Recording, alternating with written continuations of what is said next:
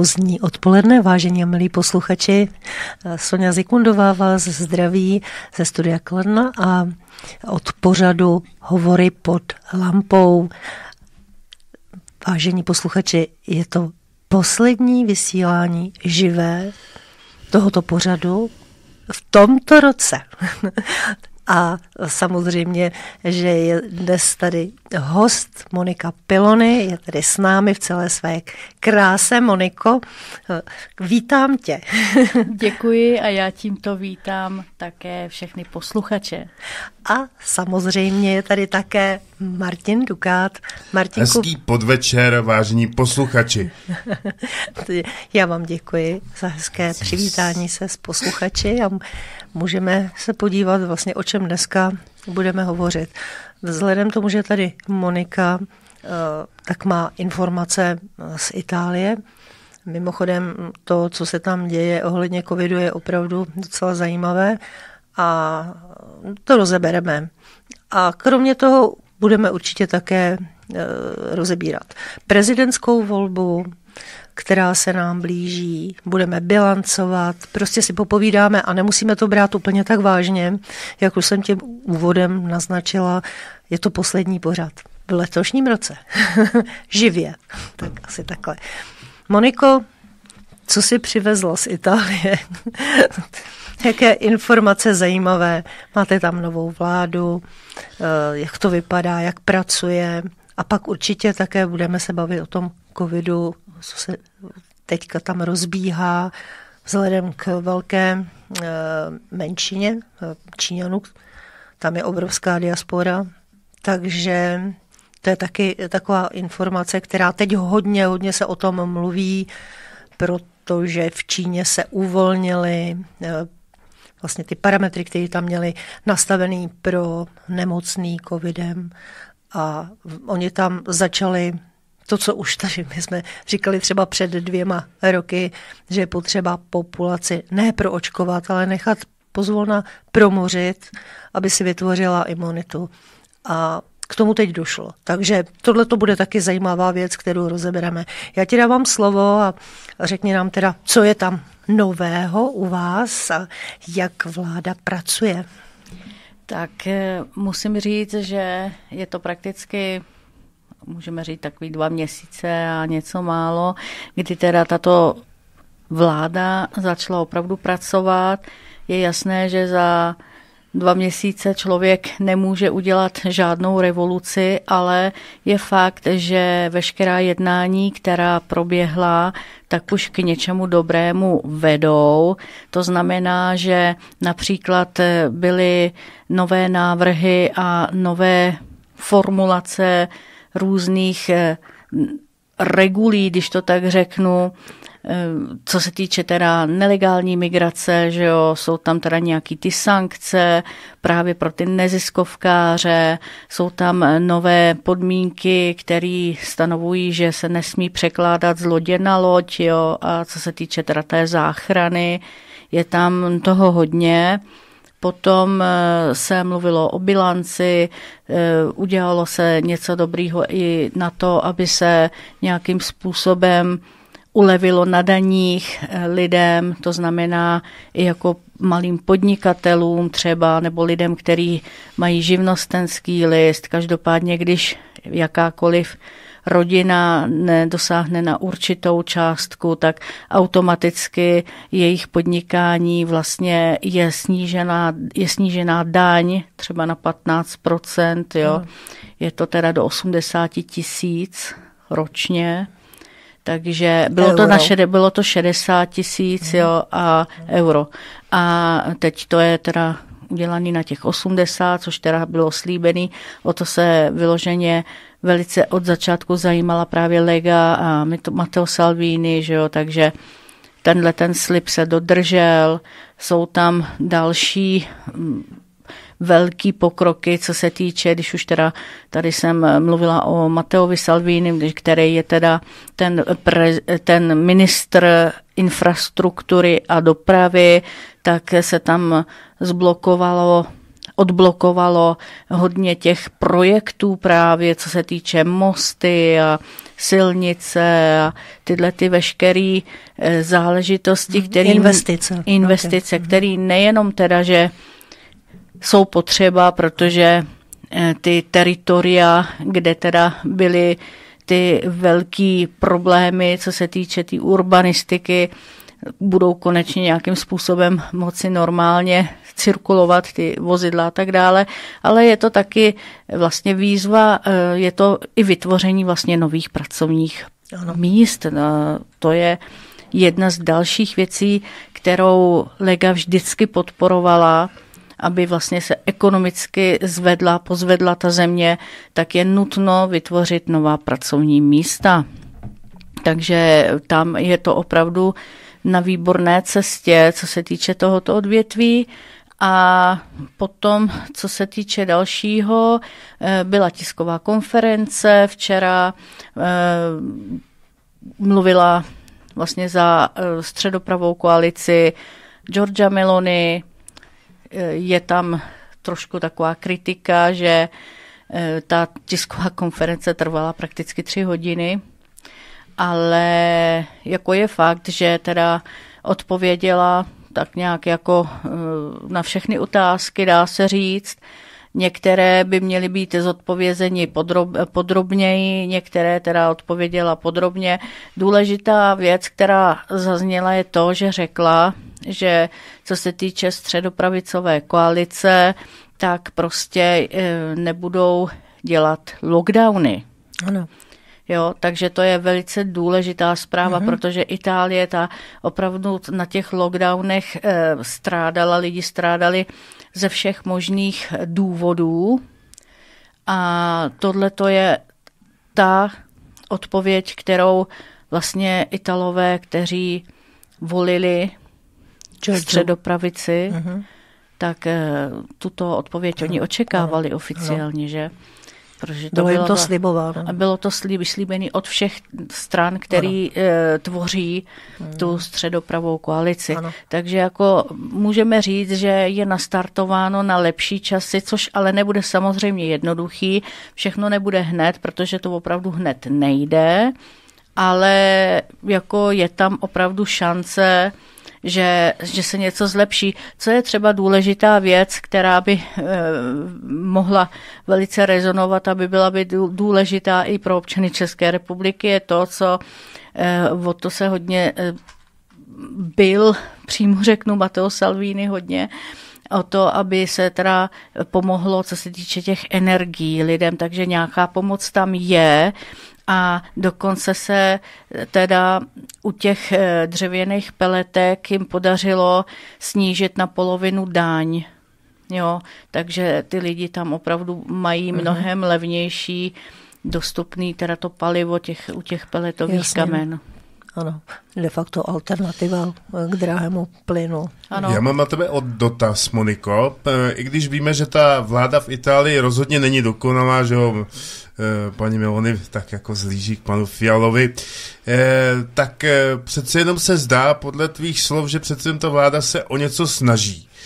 Jak bys to srovnala vlastně vládu v Itálii pod vedením paní Pilonio, paní, eh, paní, Já ti děkuji, ale ještě paní ne. Meloni, pardon, a eh, jak by si srovnala vlastně eh, naší, naší fialovou vládu, takže jak, jak to na tebe působí, když bys to srovnala, já vím, že se to nedá úplně až tak srovnat, ale přece jenom trošku eh, S tou má to kola- nějaký, má, Střed, středopravicovou nějakou koalicí. prostě, jak nějaké to- srovnání by si eh, to určitě u tebe nějakým způsobem eh, působí, jak když bys to srovnala, tak jak to, jak to vidíš ty? Tak eh, jako i instinktivně bych ti odpověděla, že tam se to srovnávat opravdu nedá. Jak jsi sám dobře naz- naznačil, No. ale ne, opravdu vidím, že tady třeba z hlediska, co tady dneska nejvíc nás trápí, že jo, ty energie mm. v České republice, je to úplně nejšílenější, to, co se děje, že jo, vůbec prakticky z celé Evropy, když si to tak můžeme porovnat, tak opravdu v té Itálii, teda tam eh, v krát eh, jsou na tom líp. Ano. Jo, ta pomoc tam určitá je, určitě tam není tak strašně eh, procentuálně tam není navýšený eh, to jako v České republice. Ano, ano. Jo? Tam určitě teda e, jsou v tomhle na tom líp. Neříkám, že to mají zadarmo, nebo že by to nebylo drahý. Ta drahota tam je taky eh, veškeré i potraviny, všechno se zdražilo opravdu ano. a o dost. Jo? Ale musím říct, že momentálně z tohoto posledního vlastně jednání vyplynulo, že tam ta pomoc občanům z hlediska těch energií je. Mm. Já si myslím, určitá. že to i e, lidé cítí, že tam je daleko jiná a lepší nálada, než je tady u nás. Já vím, že jednou si nahoře, jednou dole. E, tady se to střídá, my jsme na tom byli tak jako poměrně lépe a e, prožívali jsme silně to, co se dělo v Itálii před rokem. Bylo to docela teda šílené tak teď bych řekla, že se to otočilo a Itálie je v takovém jak se, jakémsi uh, takové pohodě. Přestože ten svět je uh, celkově globálu v krizi a, a jsou tady válečné konflikty no. a tak dále, tak v Itálii mi to přijde, aspoň já, když mluvím třeba se svojí sestrou, tak eh, že oni jsou v daleko větší pohodě než my. Máš pravdu z tohoto hlediska určitě, eh, ale je fakt, jak, si, jak jste oba dva dobře řekli, nic není ideálního, no, no ani není. tato vláda není ideální samozřejmě. Řekla bych, že ta zahraniční politika tam to opravdu uh, skřípe ze strany Melony ano. speciálně. Já musím říct, že jsem mluvila s mnoha jejími členy, ano, a bavili jsme se tak jako v tom rázu, říkám, dobrý, tak jsme středopravice, tak postarejme se o to, aby tato vláda vydržela opravdu celé to období a hledejme společného nepřítele a proti němu jdeme společně, protože bohužel jako matematika je jenom jedna a ty čísla tam jsou, takže my prostě musíme být v té majoritě, my musíme mít tu většinu, abychom hmm. mohli vládnout.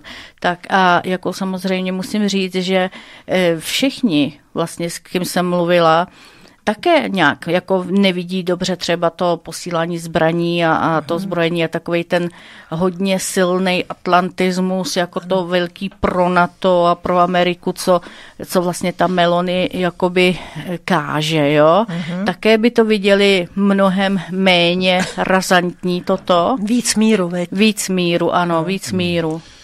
Mhm. Takže i když je tam... Takže tam je tato taková, jak bych řekla, takový ten puntík, jako Určitě. speciálně, který si vidí hned. Potom samozřejmě hmm. jsou tam i jiné věci, protože, jako říkám, jsou to různé strany, není to stejná strana, tak je jasný, že budou muset hledat v mnoha věcech kompromisy, že ano, to je důležité, ano. aby ten kompromis vždycky našli O to se musíme také postarat, aby nebyly takový ty, nebo aby se nepodporovaly nějaké ty eh, vnitřní rozbroje třeba. Uh-huh. A co si, povím, co si budeme povídat na sociálních sítích, tam je každý hrozně chytrý, že jo, a snaží uh-huh. se prostě vyvolávat e, zmatky takže to je ale všude stejný. To je všude stejný. Ano, ano. No, to Takže... je u nás taky.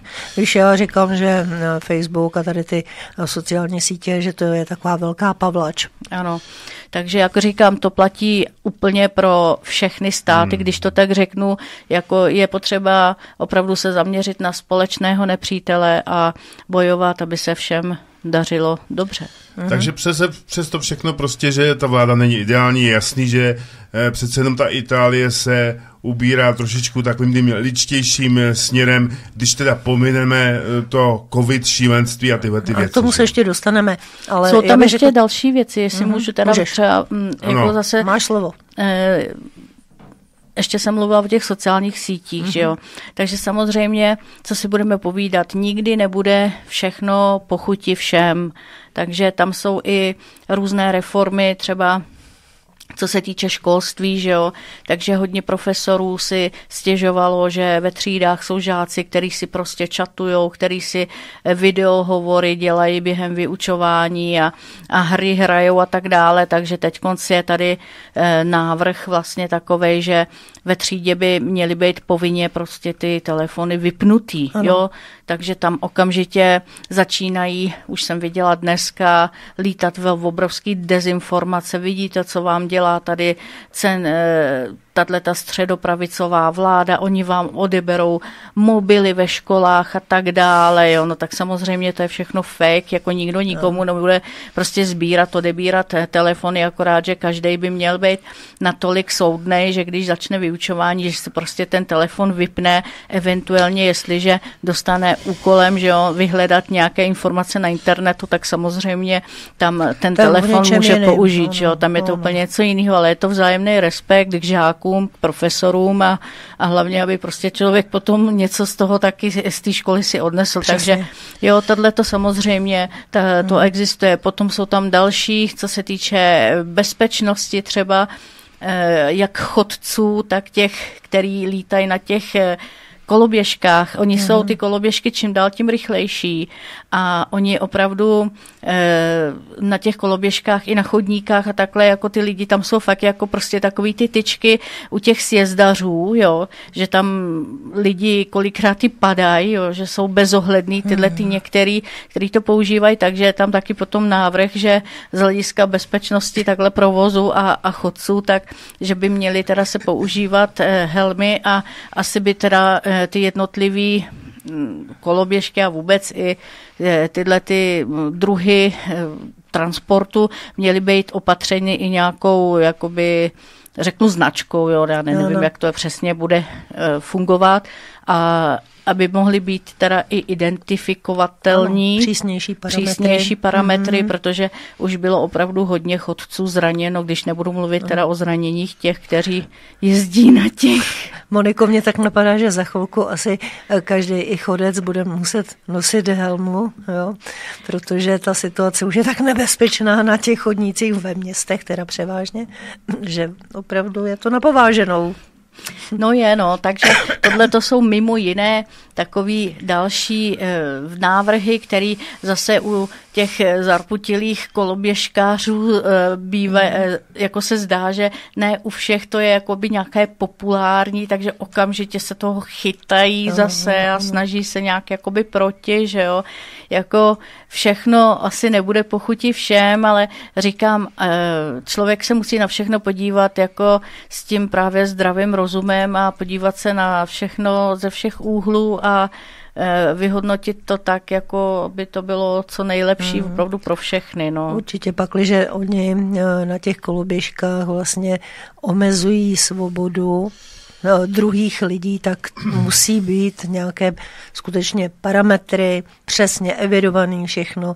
Podle mě koloběžky patří na to jako sportovní náčení a patří na sportoviště, ale určitě ne teda do města na chodníky. Tak na, na, těch, na těch chodníkách musím říct, že já osobně jsem taky kolikrát musela skákat jak gazela, nebo spíš no. jako postřelená srna, teda jsem si připadala. Ale jako říkám, je spousta že o těch cyklostezek, eventuálně no. tam a e, opravdu něko, někteří jsou velice bezohlední teda. Já oceňuji ještě jednu věc k těm mobilům, že vlastně e, se došlo k takovému kompromisu, že když je teda ta výuka, tak ten mobil má být vypnutý a e, přijde mi to rozumný, protože se nikdo chce úplně vš- zakázat po celou dobu a takovýhle věci, takže to je vlastně od zdi ke zdi. A u nás je to tak, že vlastně my jsme v tak zoufalé situaci u nás v České republice, že vždycky lidi prostě už potom volí nějaký extrémní řešení a to taky není dobře prostě. Takže, takže kvitu, že prostě v Itálii takhle k tomu přistupují a to bude ještě v dalších věcech. Mm-hmm. Já myslím, že k tomu by měly dospět teda všechna ministerstva eh, školství eh, v různých zemích, protože eh, děti se mají při vyučování soustředit na to, nějaký, že tam bude vyzvánět telefon, že mu bude někdo volat, nebo on si bude hrát na tom, jak ne, žádný takový. Do školy se chodí proto, aby se tam děti něco naučili, takže tomu se to musí podřídit. Líbila se mi výzva právě, když, se, když o tom mluvil třeba i Matteo Salvini právě dneska v živém eh, takovém tom jeho eh, přenosu, tak eh, tam samozřejmě to trošku vysvětlil, že jo, protože někdo to tam právě nadnesl, takže říkal, co se týče těchto telefonů, tak žáci i profesoři. Ano, ano je to, jako když přijdeš do divadla, tak přeci si taky nenecháš zapnutý no, jasně. mobil. Je to neúcta k tomu druhému a, a vůbec i k tomu vzdělávacímu procesu. A je fajn, že to platí samozřejmě i pro učitele, protože pravidla prostě mají platit pro všechny. No, asi je to tak. Tak. Jsou dospělí, takže by měli už eh, jaksi... Měli být, měli, měli být příkladem. Příkladem vstříc. Mm-hmm. Dobře, Moniko, tak to, to je fajn, tohle je všechno. No a e, co ekonomika, ještě jsi si zmínila teda podporu těch, e, těch různých podnikatelů, vytváření nových pracovních míst a tak dále. Tím pádem i dojde ke zvýšení životní úrovně lidí a Podívejme se, jak byli podnikatelé eh, poškozeni právě v době covidu. Eh, cítila to konec konců tam kolem sebe, že jo, jak, jak ti podnikatelé, jak opravdu to na ně těžce dopadalo, jak v Itálii, tak tady tady u nás. Ale tady přece jenom teď eh, ta podpora je cítit a ona je, mluví se o ní. Jo. Ti lidé prostě vědí, že mají podporu tady v tom. Když to tady u nás je ta situace taková, že skutečně hrozí eh, velké propouštění, eh, podnikatelé nezvládají platit energie, takže krachují, no, zavírají a je to takové, mně to přijde, jak kdybychom tady byli v nějakém železném městě od Verna. Ano. Ocelové město. Ocelové město. Tak. Já bych řekl, že to je taková vláda, vláda saďourů, jo? A ty lidi, kteří podporují aktivně pěti koalici, tak to jsou taky takový saďouři. víš co, my tady nemáme odborníky na ekonomiku. A prostě ekonom, myslím, i zdravý rozum dá, že se musí, pakliže máš něco zhodnocovat, máš někde něco vyrobit, nějaký hodnoty, tak se to musí podpořit. No to tady není. Tak co Itálie? No tak eh, v Itálii právě tím, že se vlastně odhlasovala ta, jak se tomu říká, financiária, jo, takže tam teď budou k dispozici vlastně 35 miliard právě na ten na, ten, eh, na, na tu ekonomiku, na, ten, na, na to, aby se vlastně rozjelo ano, to jsou ty veškeré ty projekty, které byly zablokované třeba léta, některé hmm. i deseti, desetiletí. Jo, takže, to si zmiňovala, to je velice ano, zajímavé. Jo, takže tam opravdu jako tam eh, je vyloženě ta šance si myslím, že tam bude tím, že vlastně zároveň s tím budou mít ty lidi práci. Ano.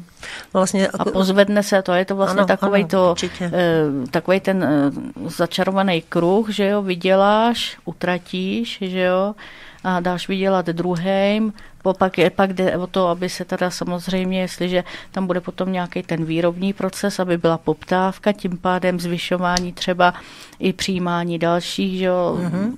lidí a a, a, a tak dále, aby byly potom peníze samozřejmě na inovaci, aby se udržel trh a tak dále. No. Takže musí se začít samozřejmě tímto, jinak se, se ta země nepozvedne nikdy. Mm-hmm. Ano, ono to tak docela dobře eh, vyšlo, že eh, teď přišly vlastně ty peníze, ta půjčka tady od to Evropské unie ano. tady je. Teď je potřeba ji teda pořádně využít, řádně eh, zainvestovat a hlavně dát pozor na korupci, protože každá dotace, že jo, každý peníze prostě zároveň sebou nesou i to, že eh, se na tom přiživí spousta takových těch chytráků, takže i tohle to teda pohlídat a myslím si, že ta, tady ta koalice vaše přece jenom je to je to takový, uh, není to tak prohnilý jako u toho PD, u těch socialistů, ty už to tam měli rozjetý a těm vlastně jste vzali vítr z plachet. Oni počítali s tím, že se bude dál veselé rozkrádat a peníze půjdou tamhle na všechny možné věci, jenom ne teda na, na Itálii jo, a na ten rozvoj Itálie. Takže v tomhle tom já vidím, že to je vhodná doba a že to akorát tak sedlo. Přesně tak, jo. Když tady si jmenovala ty socialisty, tak jsem se tak tady usmála a vzpomněla jsem si jen tak mimochodem na Katar. Ano. A tam jako můžeme říct, eh, jakože vlastně se ze všech těch států, kdo se podílel na tom, jak oni to rádi nazývají Qatar Gate, že jo, mm, ano. tak to byli vlastně socialisti z celé Evropy, jenom mm. socialisti z celé Evropy. Socialisti a lidovci, jak no, já to vidím. No, no, jo, takže ano. je to stejná banda. Jo, Přesně tak. jo, takže Katar, no, tak jako to, to, to mluví samo za sebe, že jo? Je, no je to neštěstí opravdu, eh, jako Evropská unie se předvedla v té celé své neschopnosti a v tom, jak je skorumpovaná, jak po tou pokličkou, jenom když se trochu nazvedne, tak jak to tam hníje. Tak asi takhle jsem to k tomu chtěla doplnit. Tak, Určitě. prosím, ještě tady máme dotaz aby jsme teda vysvětlili, co je na eh, pozitivní na tom, že pa, na paní Meloni, když teda byla v Aspenu. Ono samozřejmě to pozitivní není. Nicméně je pozitivní to, že jsou tam přece jenom v té vládě uh, Další vlastenci, strany. vlastenci mm-hmm. kteří prostě můžou korigovat něco. Vy byste si všichni přáli dokonalou vládu, kde by prostě mělo 50% eh, vlastenci a tohle to nebude prostě, takže eh, musí se udělat nějaký kompromis, bohužel. No, já bych tady dal takový příklad, jo, když jsme tady u toho Aspen institutu, který měl konferenci 1.12. To byli soudruzi, co se tam zase sešli, to bylo jak za bolševika, opravdu. Tak abych se teda vrátila k tomu příkladu, tak podívejme, takový příklad je tady u nás hnutí ANO v čele s Babišem, který je člen Aspen institutu. A podívejte se, jak se choval. Choval se tak, že by nešel do koalice, třeba s SPD, v minulém období, prostě to neudělal. Dostal notičky, dostal příkaz od Merklový a celý se podělal, protože by přišel o svoje kšefty a nešel z SPD přestože SPD určitě by tam udělala daleko uh, záslužnější věci, uh, než tehdy právě ty socialisti ČSSD, no. který pak propadli no, díky tomu, že jak se také chovali uh, Hamáček a jeho vodní děla a podobně. Takže to je právě Aspen Institut plus, plus socialisti.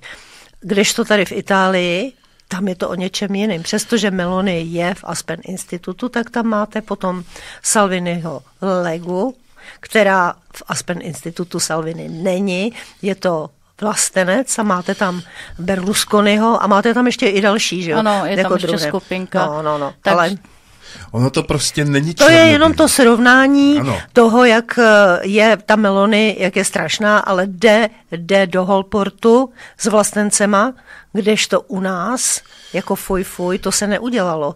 Takže proto se to vyvíjí v Itálii jinak než ještě, tady ještě u nás. bych k tomu řekla já něco, e, přímo teda k té Melony, tak ona si to samozřejmě taky spočítala dobře, protože ona sama neměla, že o tu majoritu. Mm-hmm. Takže ona jestliže, a to byl její samozřejmě celoživotní sen, e, stát se premiérkou, takže ona by bez nich taky jako se tou premiérkou ani nestala, to je další věc, s tím, že pozitivního na té vládě je to, že tím, jak si to přesně Sonio řekla, není tam sama, takže si nemůže jako v žádném případě dovolit eh, jet podle notiček úplně jako takovejch a to jako říkám, není to, není to ideální, řekli jsme, že to není ideální vláda, ale furt je to mnohem lepší, než to, co tam bylo. No. A než to, co je vlastně tady u nás.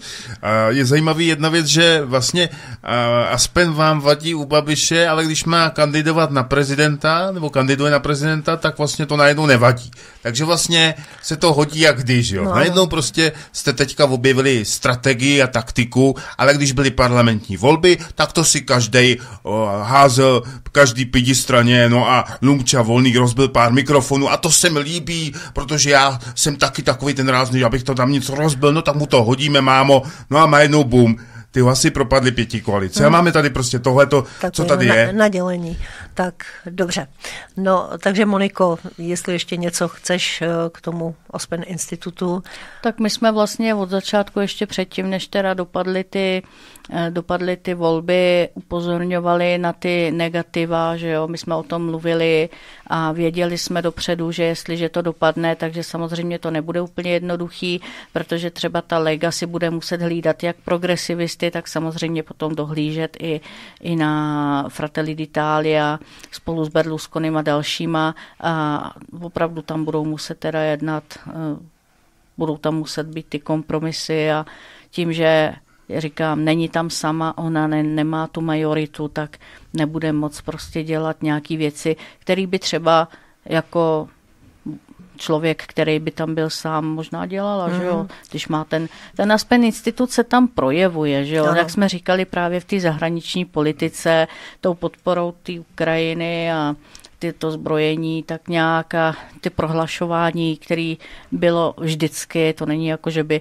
slibovala něco jiného a teď řekla něco jiného, ne, to tam bylo ještě i před těma volbama, kdy teda jako prohlašovala Meloni, že nebude Itálie v žádném případě s slabým článkem na to, takže jako tam bude maximální podpora té Ukrajiny.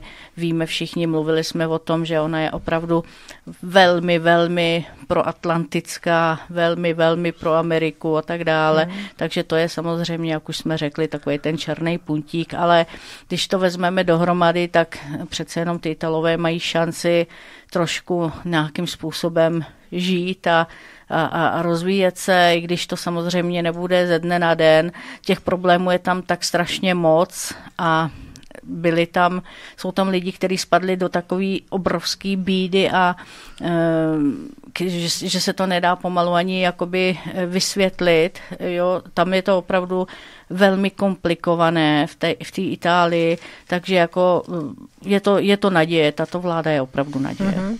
A ještě musíme přehlídnout také tomu, že v Itálii je několik vojenských základem, je tam největší letecká základna NATO a dále jsou tam jenom třeba základny USA, to není jenom NATO, takže pozor, jako tam, tam je to takhle prošpikovaný, takže ona tam Melony de facto musí dělat nějaké kompromisy.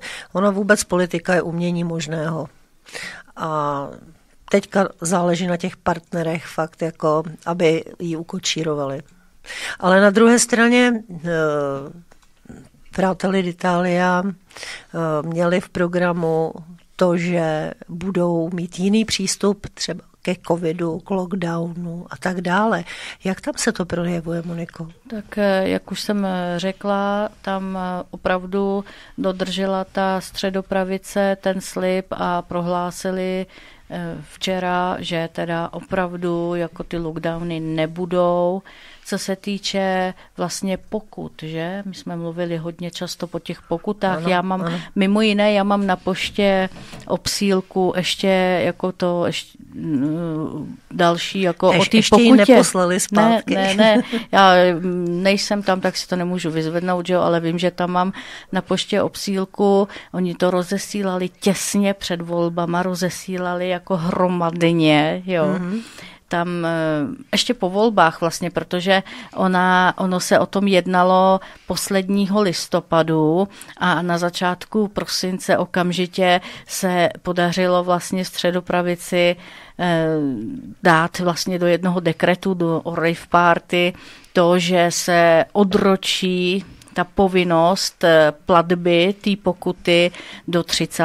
června 2023. Ano, a, té povinnosti, eh, že se člověk do 50, eh, od 50 výš byl povinen, ano. tam byla povinnost se nechat očkovat. Ano a samozřejmě Vakcínou. potom kategorie, jako třeba profesoři, že jo, školní personál a ty složky, že jo, policejní složky a tak dále, obrané složky, ano, jo, takže tam byla ta povinnost, plus teda samozřejmě od těch 50 výše, takže já bych měla platit 100 euro, ale teď momentálně sice to už poslali, ale já na to nebudu samozřejmě reagovat, protože mezi tím bylo odklepnuto to, že se to odročuje do 36. No, já bych k tomu ještě něco teda řekla mm-hmm. blíže, protože samozřejmě mi přišlo hodně dotazů, proč se to odročilo a proč se to rovnou nezrušilo. Tak samozřejmě, co se týče zrušení, tak tam ten proces je dlouhavější, že jo, tam se musí eh, vše, tam se musí udělat ten návrh, že jo, pak se musí o to, eh, musí se nějakým způsobem hlasovat, že jo, teď než se to dostane na, na pořad vlastně dne, potom to se to jde to do Senátu, pak se to vrací a tak dále. No a jed, to je jedna věc. Druhá věc je ta, že když by se to okamžitě teď v tuhle chvíli zrušilo, tak je tady možnost vlastně zase těch druhých to znova jakoby navrhnout. Uh-huh. Jo? A, a mohl by se to zase znova třeba ten nějakým proces, způsobem no. dostat, ne, uh-huh. mohlo by se to zase dostat do platnosti. Ano. Takže tam mi bylo vysvětleno, že když je to odročeno, tak vlastně nikdo nemůže dělat nový návrh, aby se to, aby to, aby se to mm-hmm. platilo. Jo, e, tady jde o to, že vlastně tahle ta nová vláda je, jak říkám, nová vláda, takže ono během dvou měsíců opravdu nejde udělat všechno a je potřeba propracovat pečlivě veškeré možnosti, jak to udělat veškerý definitivně, kroky. veškeré ty kroky, aby se zamezilo opravdu potom definitivně tomu, aby zase mm-hmm. furt tam nějaká tato pokuta za tohleto se nevracelo, nebo jo, hmm. aby se to udělalo prostě definitivně a dobře, takže je to odročený i z toho důvodu, aby nemohl přijít další návrh na to, aby se to hmm. zase znovu jakoby udělalo. Jasně, čím se zamezilo okamžité vymahatelnosti Okamžitá, pokuty. přesně. Ok, eh, okamžitá, okamžitě to přišlo do platnosti a opravdu ta vymahatelnost tam není, je to teď udělané do, 3. do 36. 2023. Mm-hmm. No a to je docela dost času, aby se to dalo jo. spláchnout. Takže to jako vidíte, že teda opravdu ta středopravice dodržela mm. to, co slíbila jako v tomto eh, ohledu. A co bylo vlastně jednou z hnacích sil většiny vlastně voličů té středopravice. V Itálii to uvolňování po covidové bylo takové velmi vlažné a ještě na některých místech stále se museli nosit e, respirátory a tak dále. A teďka došlo k situaci, kterou jsem zmiňovala v Číně, že se tam uvolnili vlastně ty stavy a hlavně se změnil přístup eh, k léčení, ne, eh, zrušili tam lockdown, takže spousta Číňanů eh, jela do vlastně tam, kde pracují, to znamená do Itálie, kde je velká diaspora, jak jsem také říkala, takže se vraceli vlastně tady do těch míst z té Číny. A teď tady hrozí nebezpečí, a, nebo dokonce teda je záchyt eh, těch lidí, kteří eh, jsou eh, nemocní covidem.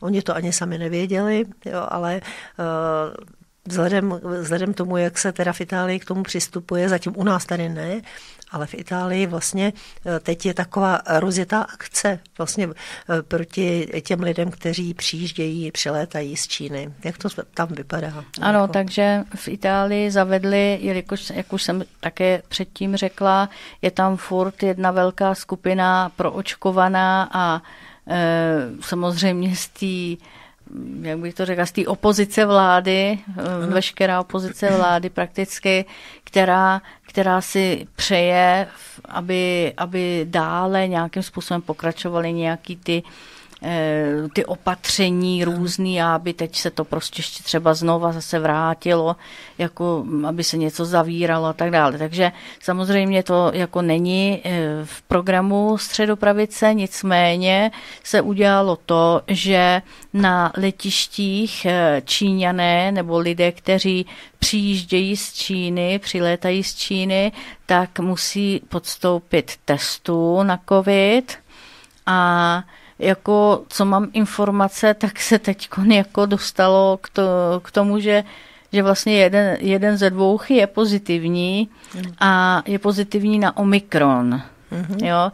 A teď samozřejmě tohodle toho, že je tam hodně těch pozitivních, se chytají samozřejmě ti, kteří by rádi dál pokračovali v biznesu. Ano, eh, ano. Big Pharma jo, ano. a ty různý televirologové, který najednou nejsou už takzvaný do těch televizorů, že jo, do těch studií a, a já nevím co všechno. Takže tak ty by, lační, no, lační, jako po slávě, že jo. No ono spousta, spousta z nich vstoupilo do různých stran, jo, jako ano. těch, eh, no, do té do levicový, že jo, nějaký ty strany, do těchto těch, který podporují samozřejmě mm-hmm. tyhle ty věci, které tady byly. Takže jako to prostě vidíme, jo, jako, že tam ta sláva, že jo, a politika najednou a já něco všechno. Nicméně jako, mm, takže tam byly návrhy samozřejmě, jako že teda se bude muset uzavírat něco a tak dále. Musí s tím, že jako, jako, no, straší se a teď se samozřejmě straší s tím, že, že jsou různý odnože, nový ano, nějaký ano. varianty a nevím co všechno. Ano. Takže jako vidíte to, jo, to je jako, oni, oni prostě nepřestanou eh, Vemte si, že Itálie je z 90% eh, proočkovaná třema povinnýma dávkama, protože v Itálii byly povinný tři dávky. Teď je tam samozřejmě mnoho šťastných eh, lidí, kteří si vydupali co nejdříve tu čtvrtou, že jo? A už se těší na pátou. Takže eh, a oni, oni prostě by zavírali, oni mají strach. Já říkám, jako proč? Jako teď jako varianta je Omikron, teď oni jsou přece všichni proočkovaní, teď oni jsou ochránění, ne? Tak jako jaký strachy, čeho se bojí, teď oni se přece ochránili, naočkovali se, že jo? Hmm, měli tak by jako, být imunní. Měli by být přece imunní, nemají se čeho bát, tak jako eh, na co si to tady hrajeme? Já tady čtu, že je nových šest variant, které ohrožují Itálii. A tady píší o variantě Griffon. Ono se to musí pojmenovat, aby to vypadalo strašidelně a musí se s tím prostě argumentovat a ti lidé opravdu jsou už tak, já nevím, jestli naprogramovaní no. Eh, těma vakcínama, tak eh, tam jdou, ale je fakt, že spousta lidí řeklo, že už teda v žádném případě nepůjdou znova, jo, že teda, že jim to stačilo, že to stejně nakonec dostali, dostali, chytili to. No. Úplně, eh, možná ještě, ještě to bylo horší, než ti nevakcinovaní, tady konkrétně Monika, která se snažila, snažila se velmi dlouhou dobu, aby to chytila, aby konečně mohla žít normálním životem. Nakonec se jí to povedlo, ale to už bylo skoro, všechno pasé. Moniko, ty jsi to ani nevyužila pořádně. No já jsem, já jsem jako o tom pomalu ani nevěděla, jako že něco mám, jo, ale říkám jako e, zase, že jo, abych mohla, jo, to bylo takový, jako že se nevědělo, jestli teda se něco uvolní nebo neuvolní a zase jako v té Itálii se furt teda nějak strašilo, že jo, říkám, dobrý, no tak je červen, že jo, no tak jako koukám, že mám i asi, měla jsem asi 37, 4, jeden večer, úplně náhodou jsem si toho všimla, jo, mm-hmm. e, no, tak říkám, aha, tak schválně si udělám test, jako nechám si udělat test, protože kdyby náhodou jsem to měla, tak aspoň budu mít teda jako možnost jezdit tady za synem, že jo, no, tak jako bych... náhodou jsem to teda tam jako na tom testu měla, no tak jsem se teda izolovala jsem se teda těch eh, pět dní na zahradě a vyplela jsem si, vykopala jsem si celou zahradu, zasadila všechno, že jo, samozřejmě odizolovaná od ostatního ano. světa, ale makala jsem, ano, zodpovědně, ale makala jsem na zahradě úplně perfektně, Jo, takže jsem si udělala všechno, co jsem potřebovala tenkrát a jako fakt a dostala jsem, si razítko. No vůbec jako, jo a jako říkám, neměla jsem žádný praktické následky. Trošku mě jakoby pobolívalo v krku, mm-hmm. jako když bych je prostě si napila Neroza, třeba... Neroza. No, jako když chytíš Jo, jako, ale ne. fakt jako dva dny, prostě mm-hmm. něco, jo, s tímhletím, mm-hmm. nic mi nebylo, nějak já, síly mm-hmm. nebo únava mm-hmm. vůbec, jo. No to jste měli štěstí, protože já mám jednoho známého, nebudu říkat odkud, nebudu říkat vůbec žádné iniciály,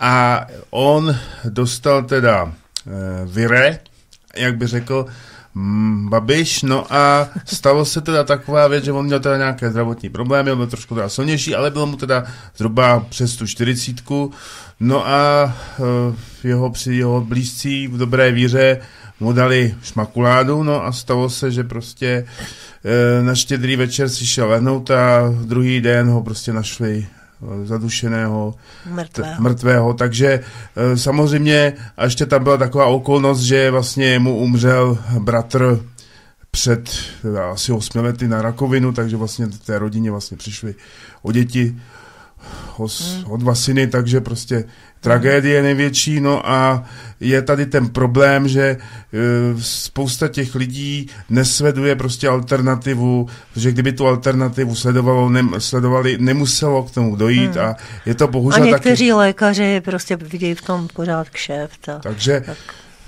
Monika měla to štěstí, že makuládu neměla, což je dobrá Hmm. Což je dobrá věc, že prostě se tomuhle vyvarovala, takže tam to naštěstí dopadlo dobře, takže e, stát samozřejmě v tom jeho případě ušetřil, protože mu bral nějaký důchod a tohleto, takže, takže e, naše pěti koalice zateskala a o to tady šlo, že jo, takže makuláda funguje no, hmm. jako redukce. No. Já teda bych k tomuhle řekla, když už se, se zmínil, já v Itálii samozřejmě sleduju Eh, denní tisk a sleduju samozřejmě potom portál, který vytvořili lékaři a zdravotní sestry a je to, eh, jmenuje se to přímo jako ty eh, vedlejší účinky.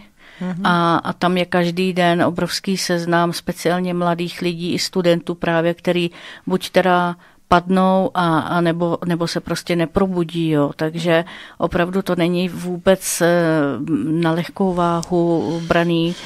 Je to, dostává se to i do tištěného tisku, jo, protože opravdu už toho je tolik, že, že, že se to nedá všechno jakoby ututlat. Ano. A je to jedna velká tragédie, protože já si nedokážu představit teda, jako rodiče, který eh, vemou ty, ty, ty děti tam na to a měli tam prostě zdravý dítě a najednou třeba tam byly i příklady, že hned, jo, prostě potom třeba paralýza permanentní ano, ano. a ty neurologické potíže. Paní, která tady v České republice mi vyprávěla, měla nějaké svoje zdravotní potíže, tak byla samozřejmě na neurologii, měla operaci, ale řekla, že tam taky bylo spousta mladých tady u nás, eh, který měli paralýzy a který měli problémy právě eh, po dvou, po třech dávkách, jo, takže... Je to hrozný. Jako někdo, někdo to dokonce i uznává, někdo, někdo ale neguje, protože samozřejmě se snaží jakoby negovat a nechce si připustit to, že třeba udělal chybu a mm-hmm. Tak v některých eh, případech byla vakcína a někdy eh, to bylo vlastně placebo. Jo, oni to takhle namíchali, takže lidé, kteří dostali placebo, říkali, nám to nic neudělalo. Tak já jsem na to upozorňovala na Facebooku a také jsem tam psala, že vlastně je to klinická studie. Tady se o tom nemluvilo. Doktoři tady lhali lidem. To je prostě podvod, je to zločin na lidech a v Americe, pokud vím, tam už eh, jsou sepsány nějaké žaloby, ve světě se to hýbe, všechno tady u nás nemáme žádné informace, ale ono k tomu dojde. Ono k tomu dojde, že ti zločinci, kteří tady zatím stojí a kteří poškodili miliony lidí, tak eh, na ně dojde. A já tomu věřím, hmm. že ta hmm. spravedlnost, protože ty následky se budou projevovat ještě delší dobu. Eh, mluvilo se svého času o tom, že až 8 let by to mělo trvat, než teda to jako pomine. Možná, že u někoho to bude celoživotně samozřejmě, hmm. ale těch 8 let, že je kritických. Takže asi tak. tak. no. Je to taková prostě zajímavá léčba v uvozovkách, když to tak vemem ironicky. No a spousta lidí tohle to různě omlouvá, vždyť ty lidi, to byli nějaký důchodci, invalidi, vždyť ty lidi prostě tady stejně jako nema, neměli co, tak jako já vám řeknu jednu věc. Jestli si myslíte, že když teďka vyděláváte těch 160 tisíc, no myslím si, že těch lidí moc tady není takových, ale jdeme tomu těch 30, že budete všichni furt zdraví a tohleto a že tam se dožijete z stovky a budete jak atleti, já nevím, ale jednoho dne prostě umřete a nebudete mít žádný problémy, no tak to se pletete, protože se dostanete do situace, kdy nebudete moc a e, prostě e, vaše arogance, kterou budete prostě šířit i ve vašich potomcích, vás nakonec dožene k tomu, že e, se o vás nikdo nepostará. Řeknu, no tak měli jste si tady to, no tak jako co. No, a nepotřebujeme vás, že jo. A jako já ještě bych k tomu teda dál dodala další věc. Jak správně Sonja řekla, tak ono opravdu od té Ameriky si to hýbe, protože tam mají jiný právní systém. Jo? Tam mm-hmm. jako ty soudy fungují jinak, pracují jinak a takže tam se začalo a bude to dál, ale eh, Big Pharma, naše elity ve farmaceutickém průmyslu našli fungující nástroj, teda upřesním fungující v tom smyslu, že aby si naplnili kapsy, jo? Ano. takže našli prostě fungující nástroj, jak vrtěti lidma, ano. ano, takže opět začínají eh, testovat na lidech nový sérum na bázi mRNA a je to proti malárii, protože mm-hmm. na covid už jim to všichni, jak to tak eh, řeknu v uvozovkách, už jim to všichni nežerou, jo, takže oni museli najít něco, co je opravdu hodně rozšířeného, takže jako já tady mám poznámku, Eh, samozřejmě BioNTech eh, se zmínili i na Twitterech, to najdete, ty firmy a tak dále, že teda testují BNT 165B1, takhle se to jmenuje, na tu malárii. 21.12.2022 to natestovali na jednom pacientovi, uh-huh. mají jich 60 a budou jim dávat e, na zkoušku prostě tři různé jakoby dávky, jo. Takže e, teď e, se prostě zmínili o tom, že jako ty peníze, které se prostě vydělali na tom séru proti covidu, takže tam budou ještě sloužit jako k dalším experimentům na další další léky. akci. Ano, takže BioNTech, která uh, začal dělat, eh, dělat tu uh, na tu malárii a Moderna, ta se taky, uh, jako to je jejich konkurence, že jo, ano. tak ta se taky jakoby dala slyšet, že, že teda taky bude vyvíjet, uh, oni taky budou vyvíjet jakoby sérum, já tomu říkám sérum, že jo, uh-huh. na, na to, na, na malárii. No, mimo, mimo jiné teda, co vím, tak se k tomu, uh, co se týče teda potenciálních rizik, tak se k tomu vyjádřil například jeden z prvních eh, tvůrců séra na bázi mRNA, eh, Robert Malone. Ano. A ten, eh, ten řekl, že za prvé, co se týče vlastně těch sér nebo vakcín, tomu říkají oni, že jo, tak zaprvé říkal, nejsou účinné. A bylo vlastně prokázáno, že, že nejsou ani bezpečné, jo, provokují příšerné vedlejší účinky, jak teda co do vážnosti, tak i do počtu, že jo.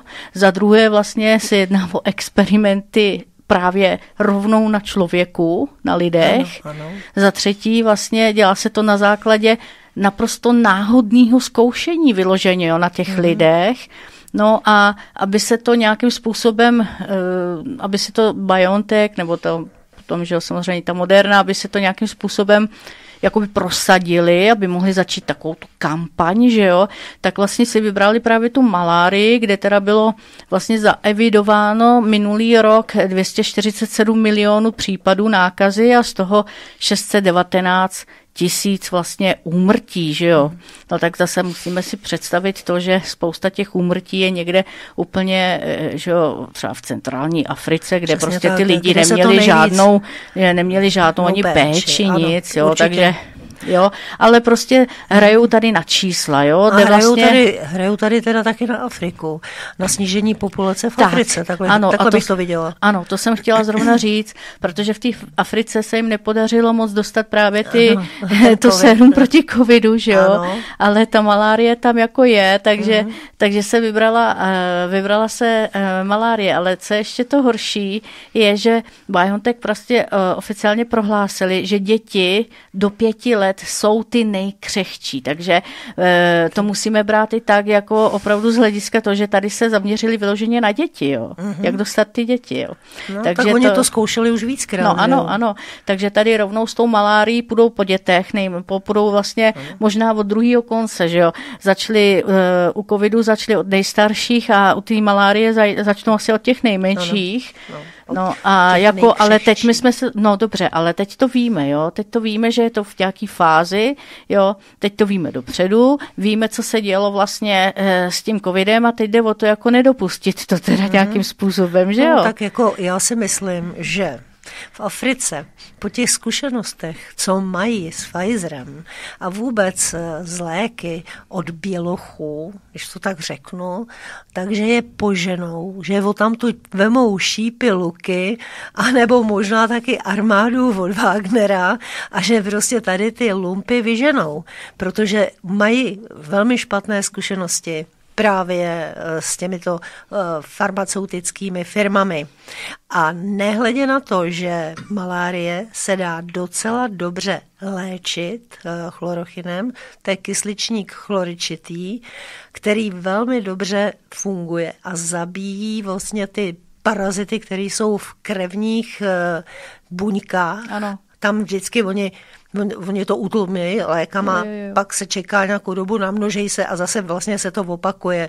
Takže ten chlorochin je skutečně jako zabíjí a toho dotyčného vyléčí. Přesně a tak. není potřeba na to uh, takovéhle uh, injekce. injekce a vakcíny, které mají skutečně velice šílené uh, vedlejší účinky. Oni, oni viděli prostě, že se jim podařilo zmanipulovat uh, strachem, že jo, jako spousta vlastně, eh, já nevím, půlku planety, jo, ano, a ano. jako tak se toho samozřejmě nechtějí vzdát, že jo, ten výdělek jako úžasný, že jo, pro ně a tak jako co, no tak teď si nevybereme opičí ne, neštovice, který jim taky potom už nikdo neskočil po hmm. chvilce, že jo, hmm. protože jako to nebylo tak, ale ta malárie, že jo, vybrali si velký číslo. A... To víš, a tady ono jim to usnadňovala Světová zdravotnická organizace, která teda měla vliv na celý svět. No, když se podíváš teďka do Ruska, ty jako si jedou po svém. Čína už taky. taky. Jo, to vidíme, že se zachovala tak, že no, prostě eh, zdravý rozum vítězí a ne to, co vám někdo nakáže tamhle za oceánem. A když vidíte, že to nefunguje, takže oni to opravdu budou mít teďka těžký. Ano. Ale oni se tak tolik nakradli, tak bez, bezostyšně, protože ty smlouvy, teď to, to do očí bylo, že všechno zaplatí vlastně státy, daňoví, eh, daňoví poplatníci. My všichni ty nesmyslně vyhozené peníze zaplatíme. No. Ano, stát je zadlužený čím dál víc, protože už na to nemá. My jsme opravdu eh, na tom tak, že, že jsme totálně prostě v průšvihu No pozor. V obrovských dluzích a neustále se propadáme do čím dál větší a většího dluhu. Ještě si půjčujeme na to, abychom mohli pomáhat někdy. No je no. to opravdu takový, jako já když mám na to, tak pomůžu. Ale tohle to zadlužovat svoje příští generace, zřejmě asi já nevím, co si myslí, že teda jako svět nebude, nebo, nebo že dojde k válce a všechno se spláchne. Já ti řeknu jednu věc, pozor, já bych jenom řekl, že ono se to udělá tak, že my si na to půjčíme. No, jsem Ten vozík se vypůjčí, jak říkal Švejk, no a na tu válku vás prostě odtáhnou, no a bude se prostě, eh, tady bude taková ta, že se to bude jako být ta počítačová hra, že si jako pohrajeme a bude nám jedno, že nám bude zima, že nám bude, že budeme, že budeme mít hlad a že si nebudeme moc říci, co si myslíme, protože dostaneme takovou tu, no, takový ten filmeček, ale, že jo. Ale no. my si půjčujeme na tom, abychom půjčili. Ano, jo. ano, to je taky, no. Tak.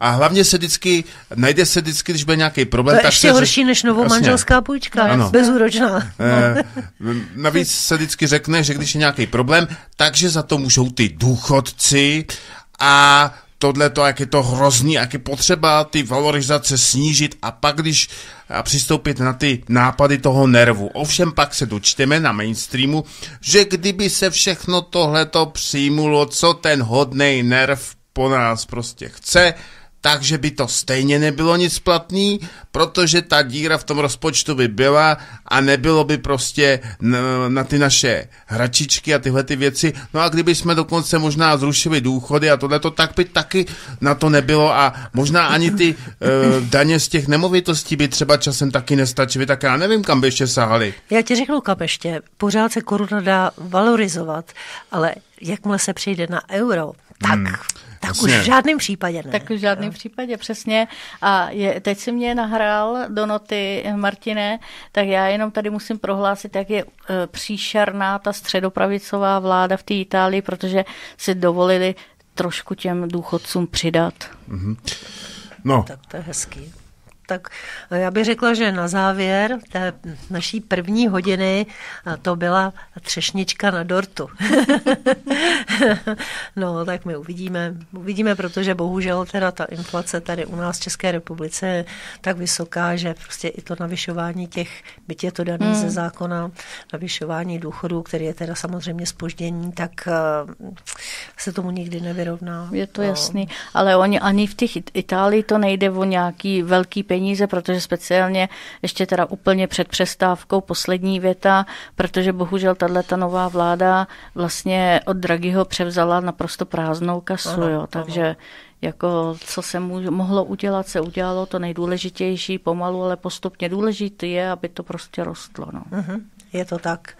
Takže já teďka předám slovo Martinovi, který no. si pro vás něco při, připravil. Martine, pustíme co to je? Si, pustíme si Ortela, pak si pustíme, jak uh, připravoval Eh, Petr Fiala eh, dárky pro své kolegy a co připravil také pro občany. Takže to bude takové veselé, aby jsme taky dali prostor tomu panu Dobře. premiérovi a dozvěděli jsme se eh, všechno, co pro nás připravil. No, myslím, že vás to opravdu potěší. Uslyšíte to. Dobře, tak jo, takže za chvilku zase jsme zpátky a těšíme se.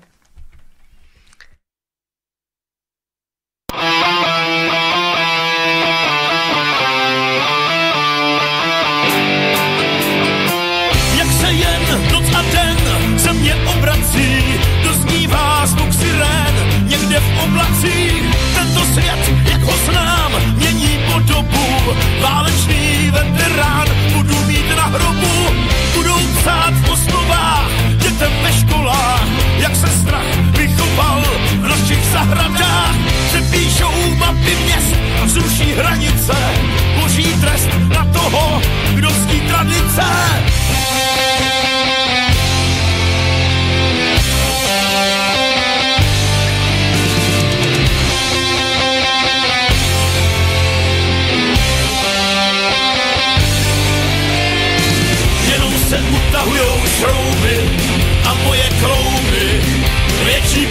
Prutí nesnesou. Kam ti moc zneností se snoubí a do zhouby nás vaše kroky ponesou. Bude hlad na vše snad, budeme frontu stát, zimní chlad akurát, strávíš v peřinách, jednotnou měnu máš, tak se nestratíš, kreditem zvoleným, vše si zaplatíš, tak buď rád za ty svý malý jistoty, že jinej za tebe stáhne kalhoty. Přidu seď, možná teď někdo vzdoruje systému, co tě tak skvěle ochraňuje.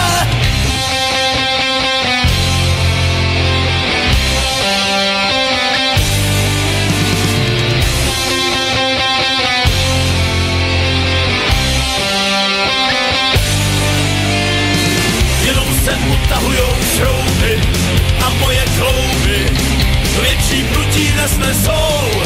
Chamtivost zleností se snoubí a do zhouby nás vaše kroky ponesou.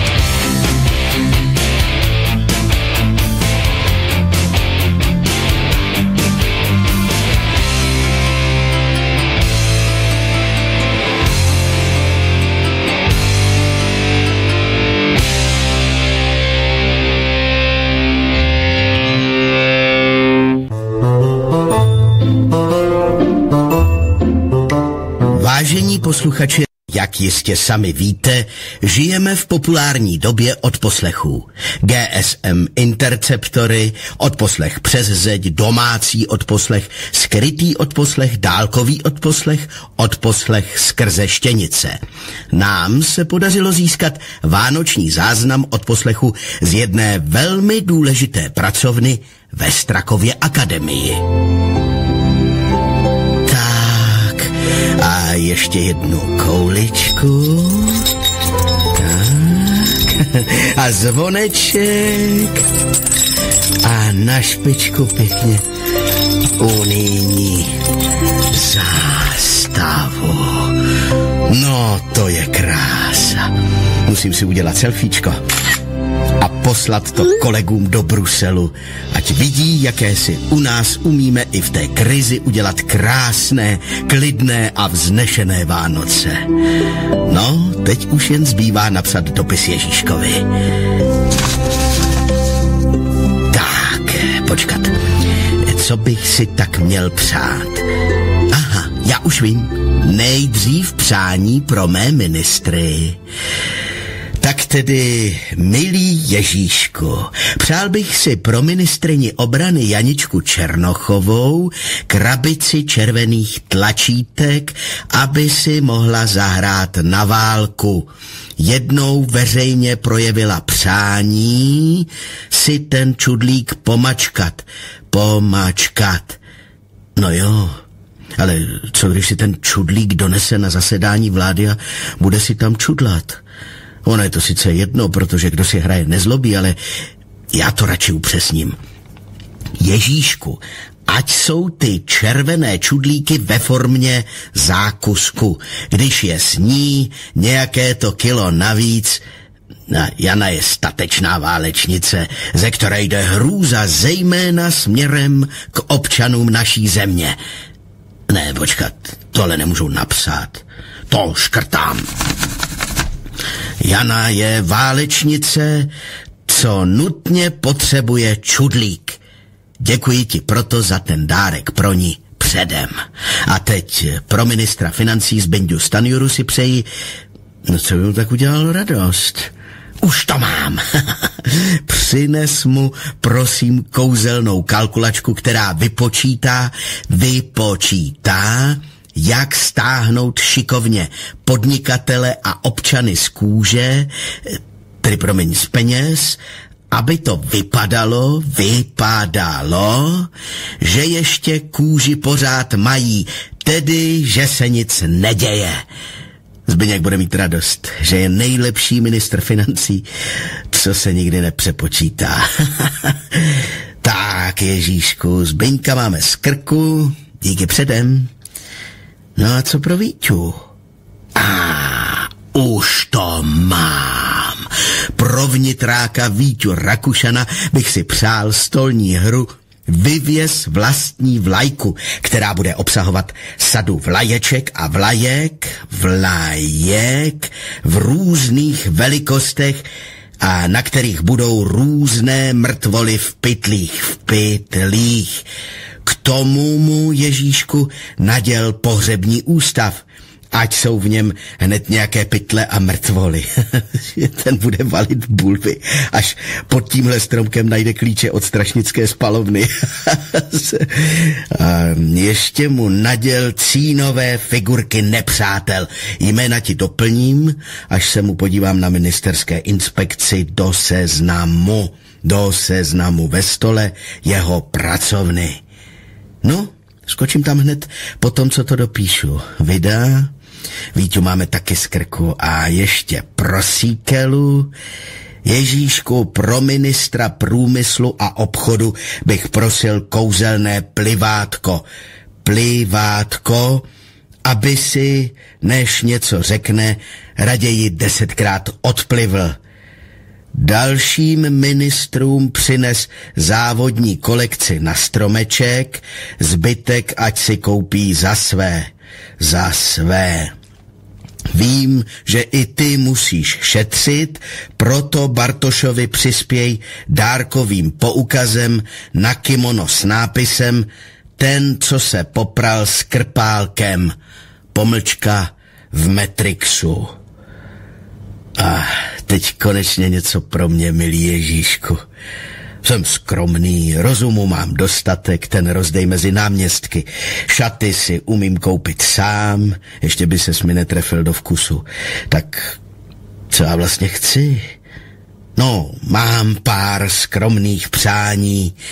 Kdyby byl nějaký ten významný, čestný doktorát, tak bych jich poprosil něco kolem, no, kolem dvaceti. Mám tady jednu prázdnou stěnu. Taky bych chtěl metronom, abych vybrousil svoje signální gesta a pohodlnější vagón na cesty do Kyjeva. Ale prosím tě, ze všeho nejvíc, ráči nám ze všech sil, tě prosím zachovat válku.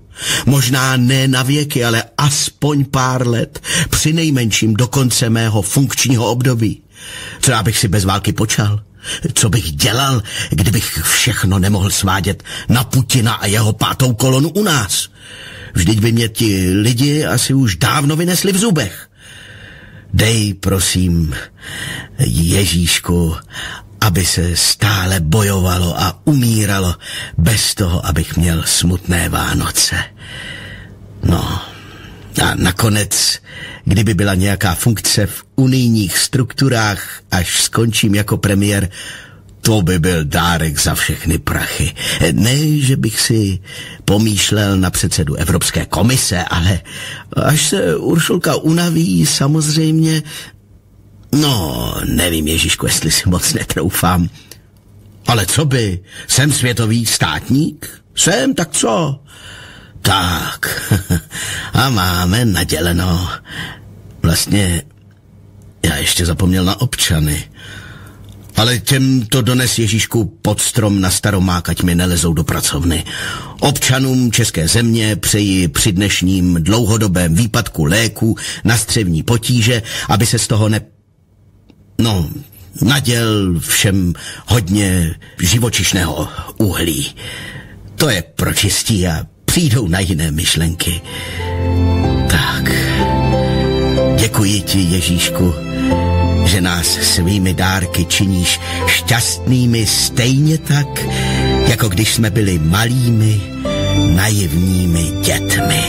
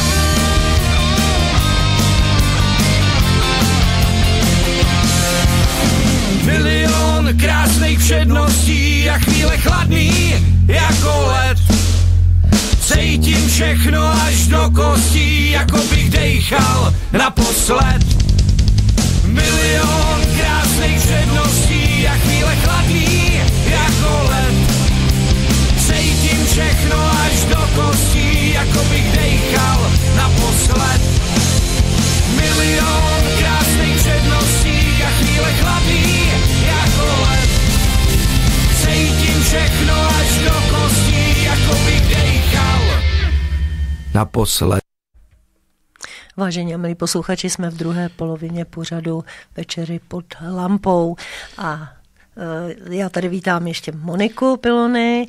Moniko, ještě jednou dobrý večer, Martina taky. Dobrý večer a já jenom bych chtěl říct, že nedýcháme naposled a skutečně jsme udělali uh, takové opatření, aby jsme ještě dlouho tady s vámi byli a dlouho tady otravovali ti, ty, kteří prostě uh, nás nemusí. Takže... Dobře. No, Takže všechny zdravíme i v této druhé všechny části. zdravíme. já, všechny já doufám, naše- že to udejchám, Všech- protože přece jenom ještě trošku dojíždím virózu, kterou jsem měla a mám tady pro vás eh, velice zajímavou informaci. Jedná se o deklaraci lékařů. Je to podpora proti totalitní opozice pro společného kandidáta na prezidenta Vážení podporovatelé deklarace lékařů, ozýváme se po dlouhé době, protože v tomto roce covidové restrikce přehlušila válka na Ukrajině a po covidu se téměř slehla zem. Avšak to neznamená, že je nebezpečí budoucích restrikcí a nátlaku na očkování zažehnáno. Jak současná vláda Petra Fialy, tak ta předchozí Andreje Babiše ukázali, že svoboda slova Svoboda rozhodování o vlastním zdraví a svoboda člověka vůbec jsou hodnoty, které pro ně nic neznamenají a neznamenaly. A nyní jsou před námi prezidentské volby, které mohou ještě více podpořit jednání těchto vlád. Přestože je deklarace lékařů zcela apolitická ve smyslu propojení se s politickými stranami, je nutné vnímat politické nebezpečí pro naší svobodu a zdraví, které tyto prezidentské volby přinášejí.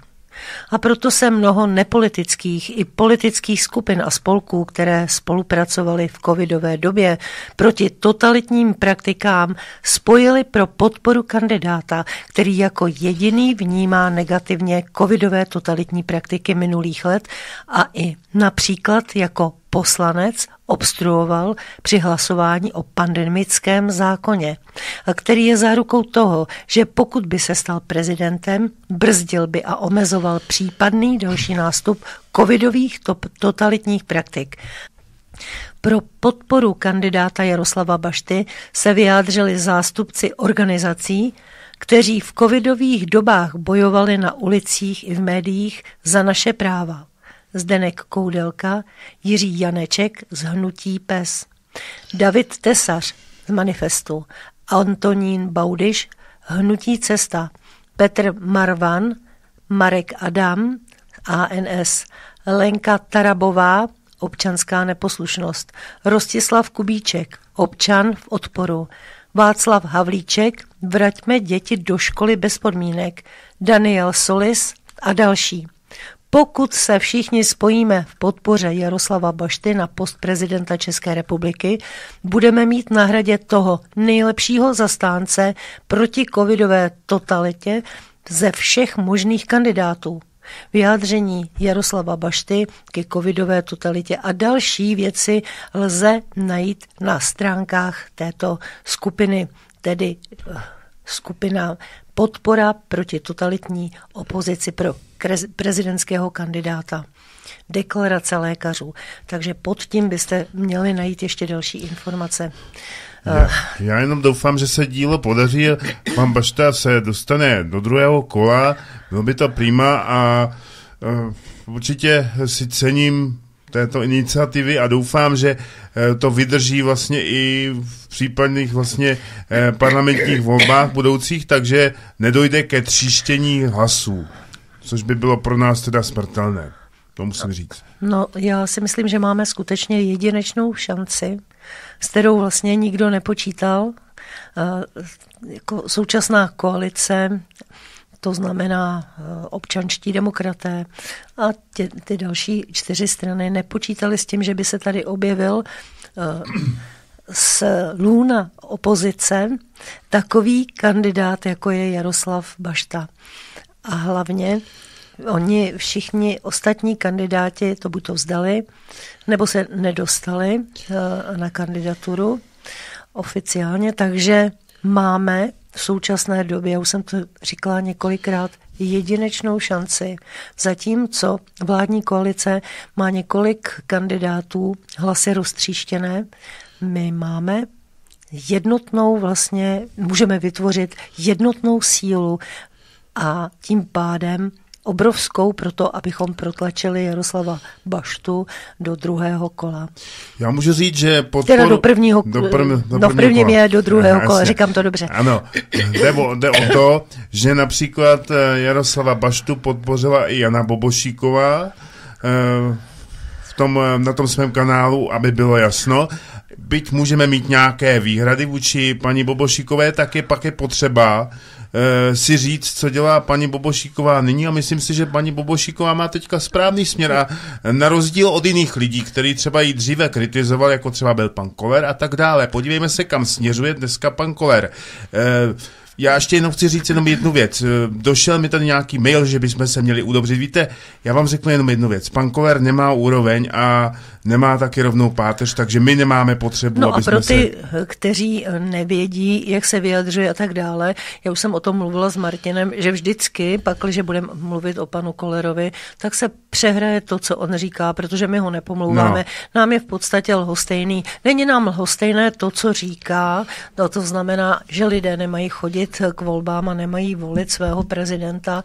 To s tím teda nesouhlasím, ale to ostatní, pak, když cokoliv se budeme vyjadřovat k němu, tak vždy vždycky na základě toho, že uslyšíte nejdříve jeho slova a potom naší reakci. Nebude to tedy naopak. To znamená, že my tady něco řekneme a pan Koller bude se dál vyjadřovat. To je totiž takový ping-pong, který nemá konce a nemá to teda smysl vůbec takhle o tom Já bych jenom ještě, ještě bych to dokončil. E, prostě my nemáme, my nemáme zapotřebí e, tady zmát pana Koera. On už tady si své řekl a teďka to, co říká, tak my s tím nemůžeme souhlasit. Tak, tak takže, jak říkali, říkají indiáni hovk. Ano, Moniko, tak. ty tady máš něco připraveného.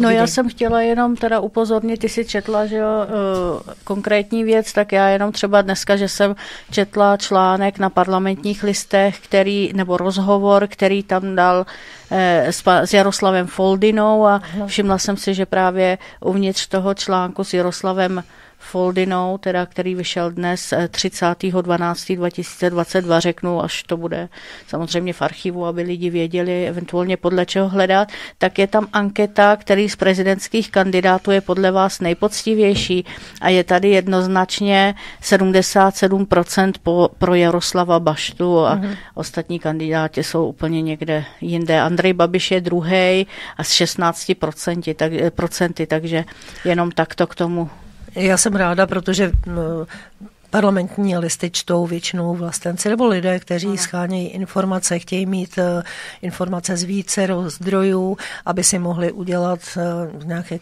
kritický názor a uh, je to samozřejmě vypovídající o tom, že pan Bašta prostě ono na něj není. Není tady lepší kandidát.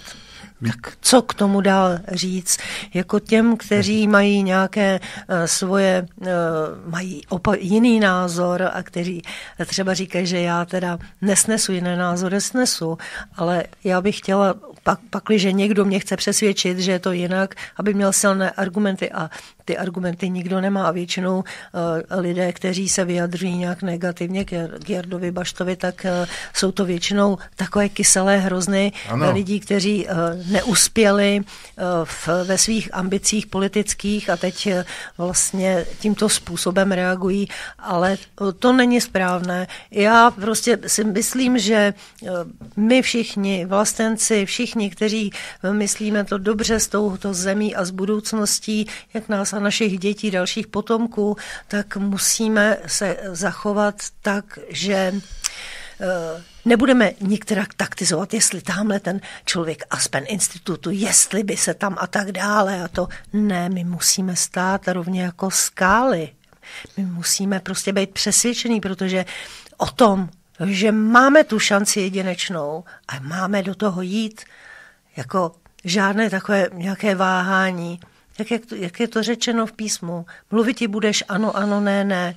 Tak tady je prostě ano, ano pro Jaroslava Boš, Baštu je opravdu potřeba s tím začít něco dělat, protože dokonce mainstream se tady e, vyšel článek, že se Česko rozpadá, že se lidé neschází a tak dále. No tak nemůžeme se divit, když je tady taková ta sluníčková základna, která prostě by všechno nahlašovala a veškerý nesouhlas, to už by tam cinkali někde telefony na ministerstvo vnitra panu Rakušanovi, že se lidé prostě nescházejí, že navíc je ekonomická situace docela velká, eh, docela problematická, takže prostě všude, všude je draho, takže lidé nikam moc nechodí. Ano, některé ty VIP samozřejmě ty si utrácejí dál, ale také už méně, takže skutečně za této situace potřeba, aby uh, lidi, lidi, kteří jsou skuteční vlastenci, to znamená ne, že mají jenom na profilu nějakou vlaječku, ale že, že tak skutečně činí, volili Jaroslava Baštu. Mm-hmm. A mě strašně teda mrzí, když na dopisy posluchačů Vladimíra Kapala volá jakási uřvaná Moravanda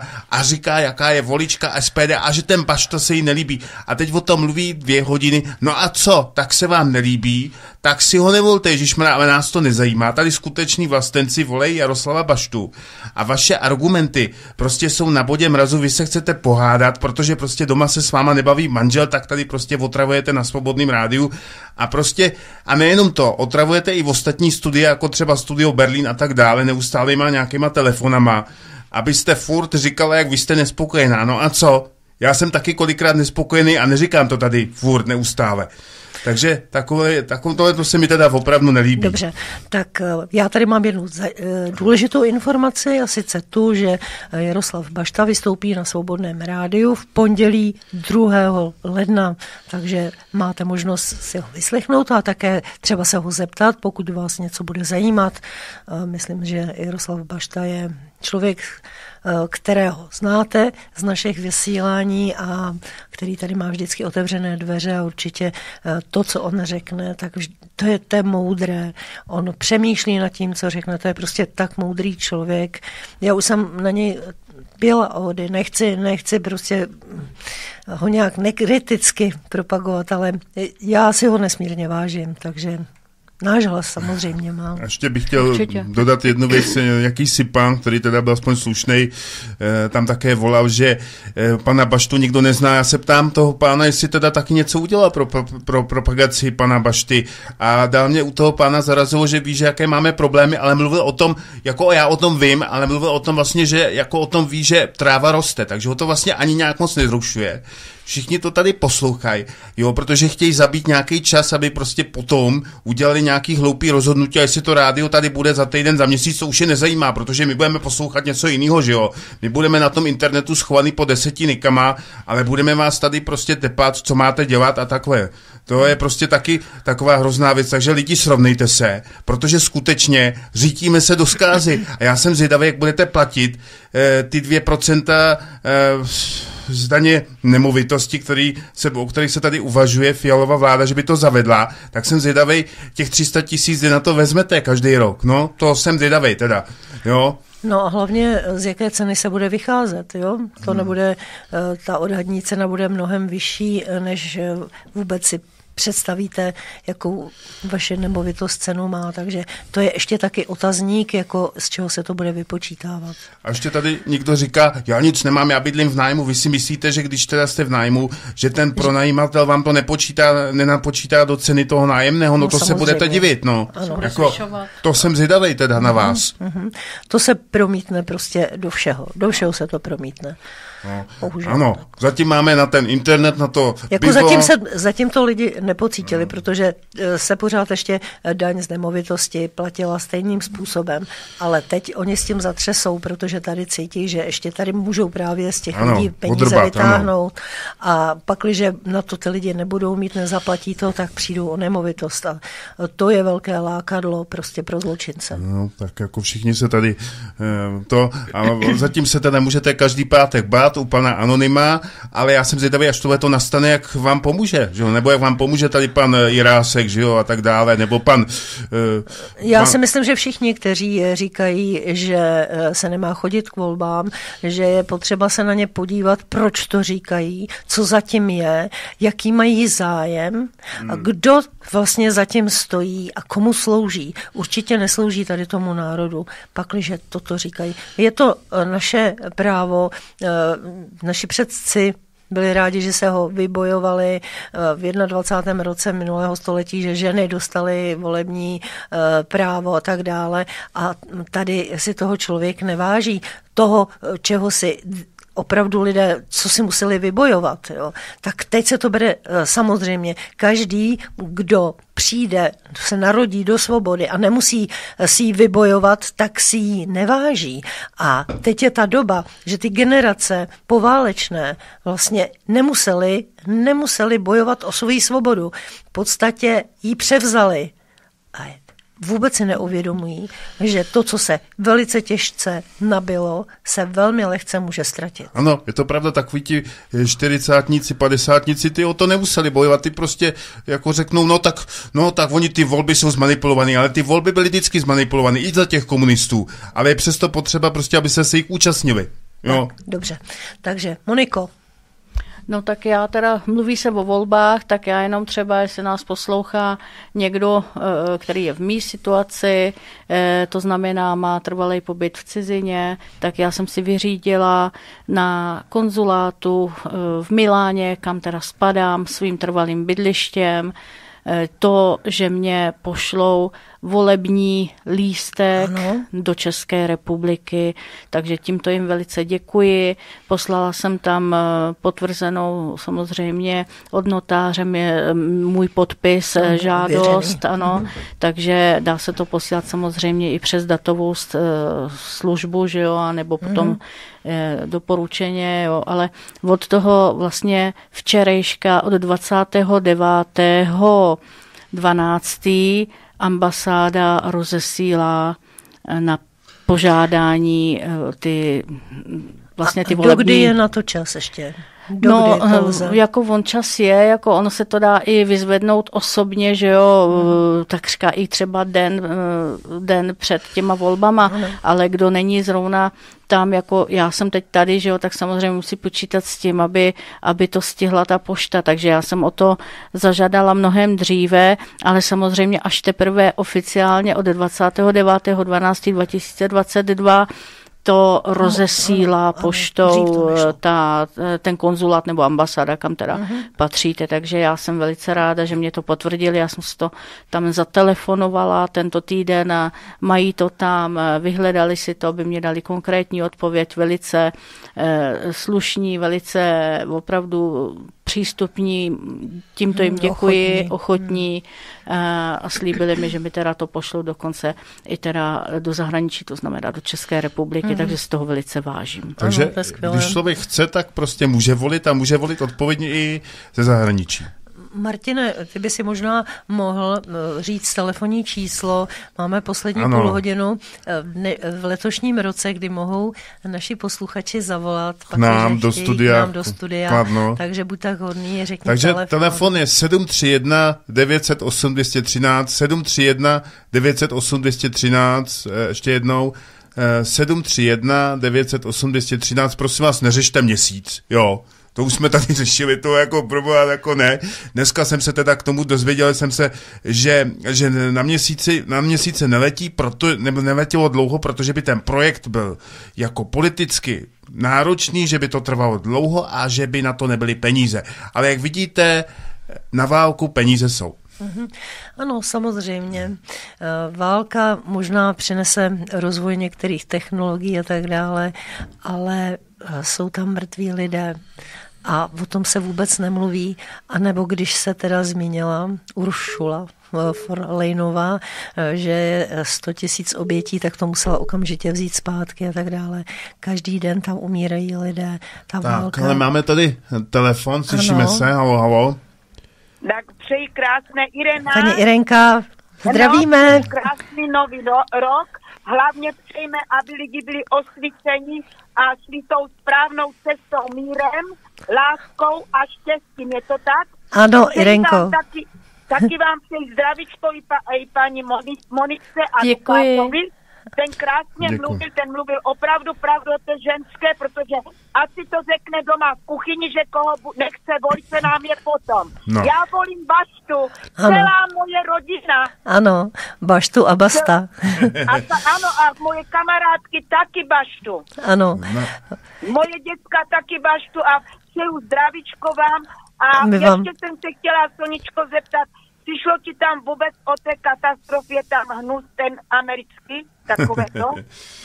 No, sam, myslíš, eh, co se týká počasí? Ne, to počasí ne, ale jak to tam žije se. Ano, ano, ano, Že už jsem ve obraze. Ano, je to A strašné. Viděli, viděli jste Ty a slamy. krásu, jak žije se tam, Ano. jak můj manžel žil. Ano.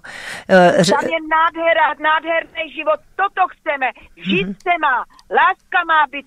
Žít se má a ne elektřina, plyn není, žrádlo není, léky Ano. nejsou. Takové Jasně to tak, no. nechceme tady. Chceme tady lásku, mír a bohatství a ne tady jakési půjčky a okrádání nemovitosti. Určitě. Jasně, ano, jasně. ano. Tak pozdravuju paní Moničku taky tam. My vás, Děkuju, děkuju moc krát. my, Nevím, Taky pozdravuju. mě pamatuje. Ano. jistě, Ano, jistě, že, že vás známe už podle hlasu. Hned, Určitě. hned Jo, víme, že voláte. jsem to poslala i Janičce ty fotky z toho hnusné amerického drogistické banky. Ano, bohužel je to teda strašný. Krásný, krásné dny přeji a Ano. krásný nový rok, ano. Vám Přeji taky. Napodobně. manžel. Všechno nejlepší a příští rok, ať se vám daří, ať jste zdraví, ať všichni žijeme v míru, máme se rádi a, abychom měli také nějakou budoucnost. Ano, je to, je to, Ano, po... to chceme pro celý svět, to chceme, že je to tak. Je to tak. Je to tak. Takže dě, děkujeme. lidem. Tak zatím. Děkujeme taky, nashledanou. Děkujeme moc. Mám taky nejlepší. vše nejlepší do nového roku. Hezký, hezký Ano. hovor, děkujeme. Mějte se hezky, mějte se hezky. Máme, Tak, Máme takže vás rádi. Takové, já jenom tady ohledně takové té narušitelky, tak paní Irena zjistila, že dokonce ona byla na nějaké demonstraci SPD v Ostravě a tam kázala prostě proti, jo, takže Tak lidi, lidi jsou různí, ano, samozřejmě může mít nějaký jiný názor, ale, ale, Ale- ale to je všechno ne na základě faktu, ale nějakých svých pocitů a prostě uh, ona ta no. soudnost, ono by to chtělo, aby lidi byli trošku soudní a trošku mysleli nad tím, No. uh, co řeknou a, a, a vůbec jak se chovají. Mimochodem no, taková ta eh, vygradovanost, ta, ta zloba.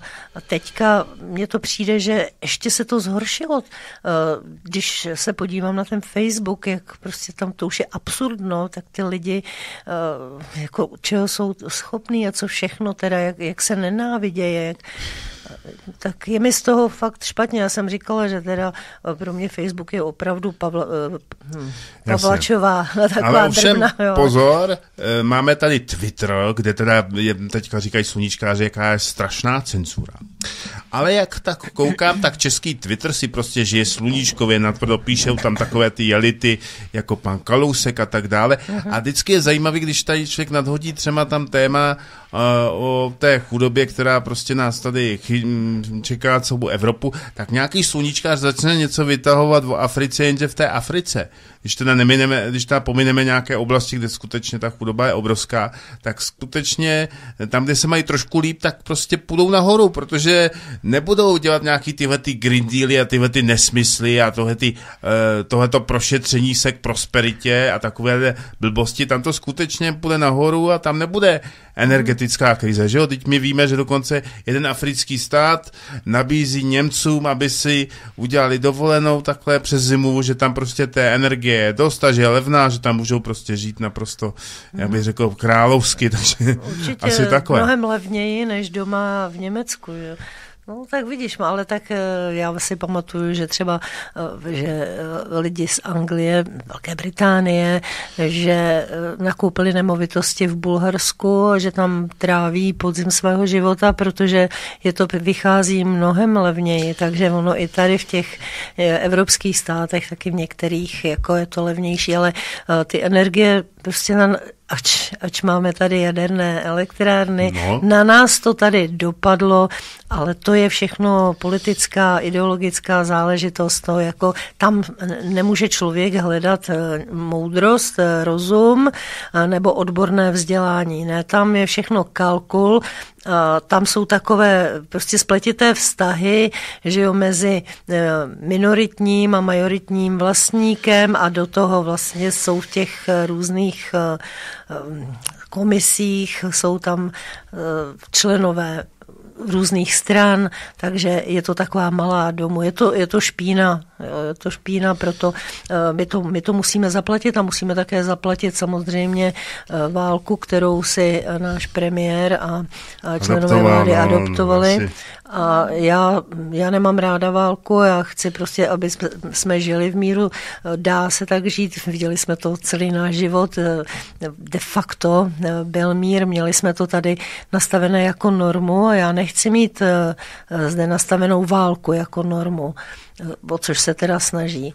Je s podivem, že si to lidé neuvědomují, že že navíc ještě podporují vlastně finančně, finančně tuto válku, aby ano. se ještě více vygradovala, déle trvala, aby umřelo ještě více lidí, bylo zabitých, aby bylo více sirotků, vdov a nešťastných, zmrzačených lidí.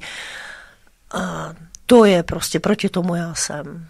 Je to prostě problém, no, takže e, válku samozřejmě odsuzujeme jako takovou a ale nemůže se říct, že v té válce za to může jenom jeden, je tam prostě více, více faktorů, více států, včetně našeho demokratického No, ono je potřeba západu. vždycky poslouchat, že jo, jako eh, než eh, k nějakému konfliktu dojde, tak tam jsou různé situace, které eh, se dají ještě stále, než vznikne konflikt, tak se dají diplomatickou cestou urovnat, vyřešit, ale je potřeba poslouchat prostě jednu i tu druhou stranu. No a pak, když se ta strana eh, neposlouchá nebo nechce poslouchat a navíc se tam predikuje, že tehdy a tehdy bude útok, ono, on není, že jo, tak, tak se mu tam naservíruje jiné, jiné datum a tak dále. Vlastně eh, se ta druhá strana provokuje k tomu, aby aby to udělala, aby prostě napadla, tam byla provokace. Jo. Já si myslím, že opravdu ten, eh, ta, ta diplomacie umřela. Jo, že tady vlastně už diplomatickou cestou eh, se nedokáže jednat, že tady nejsou diplomaté, že tady nejsou politici, kteří by eh, měli tu, ten potenciál vůbec jako jednat s někým. Nedokáží to. Jsou to, jsou to lidé, kteří, to... kteří, to jsou kandrdasové, to jsou, to jsou neumělci, to jsou prostě hlupáci. A já když se podívám na ministerstvo zahraničí, no co ten člověk, jako, co, co tam dělá, to je nějaké, nějaké jednání, ne, to je akorát podržtaška, to není nic jiného. No a pak se tady média stěžují, prostě, jak jsem tady zmiňoval, jak je rozbité Česko. Teď ta, teď ta vláda té pěti koalice prostě to rozbíjí. Teď ty občani, kteří prostě pěti koalici volili, tak e, i přesto, že třeba tam byli v rodinách problémy s tou šmakuládu a tak dále, kterou oni taky podporují neustále, tak prostě jsou ještě na to hrdí, takže všichni jako tak jako jedou slepě, že se to nějak, nějak jako dá a že každý bude vydělávat, já nevím, 500 tisíc měsíčně, aby mu bylo jedno, kolik bude stát elektrika a tak dále. Nehledě na to, že mám takové sladké tajemství pro ty, kteří si myslí, že když vydělávají 30 tisíc měsíčně, kolik toho berou. Vy byste museli, aby byli jste, abyste byli skutečně zabezpečeni, být ředitelem nějaké e, korporace, která prostě je ještě jako takzvaně ve fóru, pak budete mít skutečně zajištěný e, život, zajištěné peníze, zajištěný příjem. A máme tady telefon, takže já ho vezmu. Tak, Martin. Tak, hezký večer, Svobodné rádio. Dobrý večer, tady je Hanka, Praha 11. Dobrý večer. Dobrý večer. Já jsem vám jenom, já to nemůžu totiž vydržet. Jo. Já jsem včera poslouchala na televizi pana Bureše ty rozhovory, byl tam pan Vrábel a byly tam rozhovory s různými alternativních médií, čili tím pan Kapal, taky tam ano, byl, že bylo byl tam tam pan vstup. Žantovský. Nevím, jestli jste to sledovali celý. Ne. Nemohli jsme, měli jsme tady Tomia Okamuru. Jo, vlastně Rituci, já jsem, pod- já jsem to poslouchala ze záznamu a vás jsem poslouchala živě. Tak, Tak Ano. povídejte. Stíhali jsme to. Tak tam byl taky pan doktor David, tam mluvil. A pan Vrábel ho pozval na demonstraci, kterou chystá v lednu.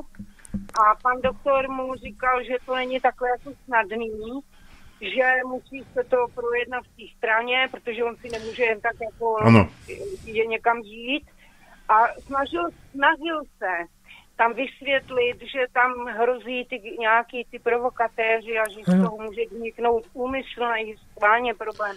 Oni, oni nejsou schopni pochopit ty lidi, Mhm. že Pekarová, Richterová a kde kdo by nejradši SPD zrušil. Ano. Měli jste vidět, co se tam strhlo v tom chatu. No, to bylo- to se David, odkopal, jo. No, to, Ano. to, to bylo něco tak ubohýho. Já vám, já vám To je přesně to, co jsem říkala, že já to vidím na těch sociálních sítích, jako No, uh, on to je podobný, ano. ano. Já vám jenom chci říct, eh, paní Hanko, jinak eh, děkuji za pěkné maily, protože jste mi taky psala, takže eh, prima. Já jenom chci říct, že eh, s- bohužel se to stává, protože na těch takzvaných mé, alternativních médiích je takzvaná demokracie, na Telegramu vystupuje na protipravudu jakýsi pán, který prostě tam despoticky nadává všem možným a je tam, píše tam furt a tohle to. Takže prostě skutečně eh, ten chat na tom, na té televizi Bureš, to je něco strašného. To je vlastně taková ta anarchoscéna a oni tam prostě dělají bordel a mně se to taky nelíbí, proto u nás je tohleto eh, řízené, protože jako... nějaký pravidla slušnosti prostě musí být. Jo. To je jako, uh, jo, takže to je právě ten problém, že když je třeba dobré médium alternativní, který to myslí dobře a tohle to si nehlídá, no tak prostě ty lidi se tam necítějí dobře, no a uh, ta, tohle prostě my tady takhle nechceme, jo. Jsou odpůrci jednoho nebo odpůrci jiného a už se to hádá jen to Ano. No jasně, ale oni nejenom, že se dohadují, ale oni se dohadují i prostě a je to takový prostě No, pořvávání. no, tak to tam mají naštěstí pána, který to tam trochu koriguje, aspoň ty zprostěrny nebo takový provokatérský ty, no, No. ale tak když to přizná teda. Já si myslím, že jako tohle to nahrává akorát pěti koalici. No přesně. Jo, ty se z toho můžou radovat a vlastně ta vlastenecká scéna uh, si tím ubližuje. Ona, ona si škodí sama sobě, pakliže to teda nejsou vloženě jako o, nějaké mm, osoby, které tam jsou za tím účelem, aby, aby právě tady to vytvářeli takovouhle nenávist. To je klidně, to může být jako cílené, Jo. Ale je fakt, že těch eh, řekla lidí, kteří to takhle nechají se ovlivnit, ovlivnit a potom tam říkají takové nesmysly, eh, že jich je asi taky dost. No, bohužel, bohužel je to tak. No, no, tak Je to nepříjemné dostat se prostě eh, do takovéhle nějaké diskuze, tam stejně nikomu nic Hmm. nevysvětlíte, protože oni jsou pak plní emocí a, Ano. A vůbec u toho nepřemýšlejí. No, bohužel je to taky, eh, je tady vliv eh, samozřejmě Aeronetu a svobodného vysílače, který prostě tuhle tu lačku, eh, tyhle ty žumpy takhle nastavili. Je to tak, To bohužel. jsem si všimla u kamarádů přesně tady to, že speciálně tato média, který se jmenoval, tak ta útočí proti SPD Ano, ano. To jsem si všimla u některých přátel tady. No, je to hrozný. Jasně, No. to, to, není, to není jenom teďka, že jo, to, to je taková jejich to praxe. Já to že znám, jo. taky odkud jsem to poslouchala, než jsem to poznala. Ano. A takový to jako, že řízená opozice a tady Ano. jaký to, no. Ano, přesně tak. A nic neudělají, když to oni ani vládnout nechtějí, jim těch 20 poslanců stačí. A, a tohle takhle to. A když Ano. pan David to tam taky včera říkal, on to taky dostává takovýhle dopisy. Ano.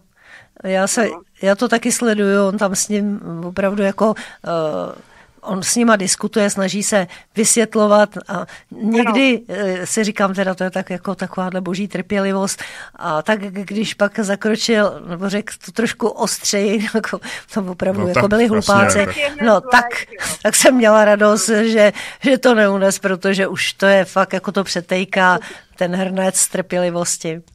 Je to hrozný, no. Tak jo, jinak Já děkuji. bych ještě, můžu Ano, můžete. ještě maličku z rádiu. Já bych vám chtěla všem poděkovat. Především poděkovat panu Dukátovi a asi i vám, paní.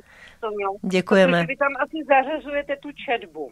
Ano. A já jsem čtenář a blbě vidím. A pro mě prostě, já čtu všechno, co se tam vysílá. Ano, ano. A i ty děti z Gulerbinu, víte, jak jste mi udělala radost. Je, Já děkuju. Znám z dětství, ale nikdy jsem ji nečetla, protože tam jsou ty švédský jména Ano. a ty, ty Milan Gordeny a to. Ano, a ano. mě to jako dětství přišlo dětství náročný.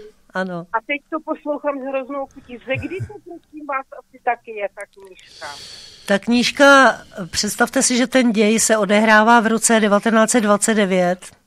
Jo, tak Jo, představte si, že už takhle vlastně jako tuhle dobu, eh, to je de facto před sto lety, jak ty, ti Ano. lidé žili a jinak ta knížka byla vydaná někdy v 50. letech. No, to ne, to, Pa- no mě jako nezajímá. Mě totiž zaujalo to, že ty děti jednotějí se pouchodějí na Ano, ano. Já jsem tohle dělala taky a dneska je to šikana, že jo? Ano, přesně tak. Tak jako to, to, to mě děcka. jako šokuje, když se zeptám desetiletého dítěte, jestli Ano. to má aspoň vyndá nádobí z myčky, tak jako na mě kouká, jestli se No. no právě oni si vážili, věděli, co to je práce a vážili si toho, ano. vážili ano. si svých rodičů, že dokázali uživit a my jsme to ještě měli teda v sobě taky, eh, to jako no, nemohli jsme si nebyli, takže jsem zažila. Zažila. Hmm. No, no, no. Takže jako to, to byl úplně jiný vztah. Eh, prostě děti byly vděční svým rodičům a teďka je tady ten mezigenerační klín neustále vrážený a, a je to špatný, to je jako ta rodina pakliže nefunguje a pak základ státu, platí to tak, bude to, to vždycky platí, platit no. a proto je potřeba tady eh, rozbít rodinu, vytvářet tam takovýhle... Některý magoři mladí nechtějí mít děti, že prej klima. Jako, no, tak Ano. Jako, to bych chtěl. No, No, blázinek. ano, jako to, to říkáme tady, to je, to je prostě satanismus, jo. No, To je, samozřejmě, no. je, to, je to hrozný. Hrozný je to, je to proti přírodě a eh, každá, každý zvíře má rádo svoje mláďata a lidi, lidi ne. Kam jsme se to No, dostali? To je, to je konec humanismu, to je, Ano, to je ano. šílený. My jsme, se, my jsme horší jak zvířata. Je, To, to, je, to ano, člověk je horší, bohužel. je pravda, že je tady takový názor, eh, že prostě tahle ta doba už je pomalu k nežití. Takže říkám, říkám tady lidem, jestli teda chcete e, být e, ve světě, které je k nežití, no tak prostě neposlouchejte e, dobré rady a dělejte si prostě, co chcete, naházejte to všude možně, až budou nějaké volby, nebo k tomu nechoďte, ale pak se nedivte, že nebudete mít na nic. Nebudete mít žádné práva, e, jo, žádný radosti, prostě. Otroci, otroci v montovnách. Ano, otroci v montovnách, přijdete domů, nebudete si moc ani nic rozsvítit, budete v ohladu, po tmě a budete se třást, abyste něco neřekli špatného. Jo.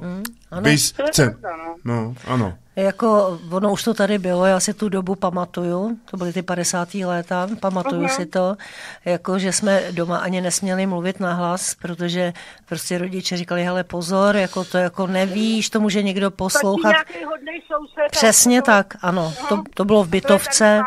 Přesně tak, jo, takže eh, to klidně můžeme do toho dospět. A když vidím některý ty mladý, takový ty, ty agilní uh, mládežníky, jo, tak, eh, tak si říkám, Ježíši Maria, teď opravdu se to vrací, to, to tady bylo, to, to byla taky taková obrovská agrese ze strany že jo, těch mladých mládí vpřed, jo, my to tady máme zase. To dá nejlíp zblbnout. že. Já bych Přesně jenom dodal, že ještě na rozdíl teda ty komunisti, aspoň těm lidem zabezpečili nějaké základní jistoty, to znamená, že když ten člověk měl nějaký nízký plac, tak z toho vyžil. Jo, mohl se věnovat nějakým prostě normálním věcem, protože prostě na to měl, nebylo to Ale sice žádná já, hitparáda. Já bych, já bych tady ještě řekla, že takový ty, ty mládežníci, jo, to byl třeba pan Rychecký, Ano. jo, eh, šéf ústavního soudu, tak to byl přesně takovýhle mládežník, Ano, který žral, že jo, žral t, ten komunismus a budoval tady eh, ko, lepší společnost, tak teď tam sedí nahoře a buduje zase, eh, dělá všechno pro globalisty. No a ještě, no jasně, takže prostě vemte si, že ten minulý režim stál za prd, ale o ty lidi se aspoň v základu postaral. Tenhle ten režim bude... Říkám já, když někdo to a mluví se o socialismu, říkám, hele, ale všichni museli dělat, i cikáni No, jasně. museli Ano. dělat. A do, já dělala ve fabrice v Kancu a dělali tam taky tyhle i Větnamci a kde kdo, ale všichni dělali a nebyli žádní bezdomovci a takovýhle, že jo. Jasně, je to jako. tak. Je to tak, takže eh, děkujeme moc za Já váš... taky a všem nádherným, eh, šťastný, teda spíš šťastný nový rok, především bez zdraví. Jasně. Ano, především my vám taky Ano, přejeme. Moniko, tady, má, tady máme toho zahraničního hosta našeho. Moniko, prosím tě, řekni něco paní ještě na závěr. Já jsem paní Moniku úplně zazdila, pardon. Bylo to úžasný, je to vše, souhlasím naprosto se vším, co tady bylo řečeno a také vám zdravíčko a štěstíčko přeji do nového Děkuju. roku a děkujeme za to, že jste zavolala. Ano. No, Já vám taky děkuji. A doufám, Mějte že příští rok se ve zdraví Ano, uslyšíme. já taky. no vidíte. Naschledanou nebo naslyšenou. Nashledanou. Mějte se naslyšenou. Takže tady vidíte, jak to prostě, když zavolá člověk, který je podporovatel Svobodného rádia, patří do rodiny Svobodného rádia, že si prostě váží všech pořadů a nejenom ty hlavní a potom tu teda zase ně- něco nikam jinam poslouchá, protože to ostatní mě nic neříká. Ne, prostě No a tyhle ty lidi teď- prostě teď- jsou solí toho rádia, pro ně se Ano, vysílá. ano, eh, to si právě, Martine, jsi mi to trošku vzal eh, z pusy, protože hm, teďka mluvím k celé eh, naší ro- rodině svobodného, na, eh, svobodného rádia, ke všem k podporovatelům. Chtěla jsem vám poděkovat za celý rok, že jste to s námi vydrželi a jste moc fajn. Opravdu jenom díky vám vlastně my můžeme existovat a vysílat a, a taky eh, se budeme snažit eh, vydržet, vydržet všechno, co na nás příští rok čeká. Není to vůbec nic radostného, to už říkal Vladimír, že prvního, druhý máme soud, eh, uvidíme, máme díky vám také advokáta, který je skutečně mm, dobrý, myslím, že má moji důvěru, je to člověk, eh, který, s kterým se dá docela dobře komunikovat, takže eh, takový ty obavy, že eh, ho tam třeba budu muset jít, je to fakt nepříjemný, eh, tak eh, přece jenom jsou trošku takový jako klidnější, je to eh, eh, tolik to nebolí, jo, protože vždycky se vás to dotkne jít tam k soudu a teď prostě víte, že celý, celý ta, ta kouza, že je smyšlená, je nepravdivá, když vidíte co, ty, ty čtyři věty, eh, které eh, naprosto, no to je, to je eh, to je směšné, když to čtete. Čtyři věty, který, eh, Ještě kvůli byly- kterým je eh, Vladimír obviněn, nevím, jak je to u těch ostatních, jo, a tak když si to přečtete, tak si říkáte, to je tak jako Ještě dílo byly- žáka osmé třídy. Je to opravdu komické, mm. ale uh, je tady politická objednávka a o tom to je a můžete říkat eh, cokoliv, uvidíme, my nevíme, tam má být nějaký samosoudce, takže eh, neznáme, že jo, toho člověka, No. takže uvidíme, jak to bude probíhat, já tam budu já jsem tam pozvaná taky, předvolená, takže tam jdu za svobodné rádio, které umožnilo právě svobodu projevu, tak jak eh, jí máme nárok. Je to naše lidské právo, je to zaručené ústavou, ale my máme za sebou ústavu, ale podívejte se, máme pan Minář, ten si klidně ústavu roztrhá. Představte si, že by to udělal někdo v Americe. Prostě tak asi půjde sedět, jo. Ale tady jsou benevolentní, protože to dělá jedna strana, která má ty správné názory, která uh, je víceméně pokrytecká, protože to je všechno jenom takový ten balast, ale co v těch lidech je, to už je, to je, to je hrůza. Jo, takže takový ty chvilkaři a podobně. No tak, eh, takže takhle já se s vámi loučím eh, de facto takovouhle eh, nepříjemnou zprávou, ale říkám, ještě... díky vám to, to zvládneme. Martine, ještě, máte ještě prostor. Máme prosím. ještě prostor, eh, možná tady trošku to. Prosím vás, co se týče prémiových pořadů, ty jsou prostě nutné pro udržení eh, chodu svobodného rádia. Díky nějaké té reklamě prostě svobodné rádio nemuselo zdražit, je to prostě, každý to víme. Takže jenom bych chtěl říct, když bude nějaký ten prémiový pořad, vždy, když prostě bude zveřejněn na YouTube, bude co nejdříve i k dispozici na titulní stránce Svobodného rádia www.svobodné radio.com, tam vždycky bude ten seznam Dobře. těch pořadů, těch prémiových. Jinak to bude samozřejmě jen sdíleno i na sociálních sítích, ale každopádně, kdo nemá Facebook, tak vždycky na naší titulní stránce prostě uh, to tam bude ten seznam těch pořadů, těch prémiových, které jsou normálně v archivu. Tak dobře, Martina, ano, výborně. Vše Moniko, prosím, rozluč se a ano, eh, já jsem velice ráda, že už jsem po delší době tady přímo naživo, ano. protože samozřejmě vždycky to není možný, ale samozřejmě my jsme vždycky všichni spolu v kontaktu, spousta posluchačů, i my, eh, co se týče rádia, takže, ale víte co, jako naživo je naživo, Jistě. setkat se, to je úplně úžasný, takže já vám všem opravdu z, já vám všem přeji opravdu všechno nejlepší do nového roku a eh, hodně štěstí a zdraví ano. a eh, naskle, naslyšenou. Naslyšenou. naslyšenou. A, a děkujeme ještě jednou za podporu. Tak jo, eh, to je od nás všechno a samozřejmě doufáme, že... A příští rok se na vás těšíme u dalšího pořadu z Studia Kladno, hovory pod lampou a uvidíme, jaké to bude v tom příštím Já roce. Já si myslím, že to bude dobré. No a Monice samozřejmě tady děkuji za krásné, krásné vánoční vysílání, které si tady zvládla, takže děkuji moc i takové. A všem a... našim spolupracovníkům taky děkujeme. Jste všichni moc fajn, máme vás rádi. Ano, ano, je to takové. Mějte tak, se hezky. Mějte se. A držte se. se. A já a příští nebudu, rok já nebudu, já nebudu jako prezident Zeman, přeju vám hodně štěstí, držte při sobě a nebudu tady prostě říkat takové ty věci, že to bylo krásné a takové, a bylo ano. toho dost jako ten pokrytec prostě, takže eh, máme vás rádi, držme ano, spolu. máme vás rádi, musíme se mít rádi. Musí, musíme k sobě, k sobě hledat cestu, protože jiná cesta není. Ano, jsme přece lidi. Hezký večer.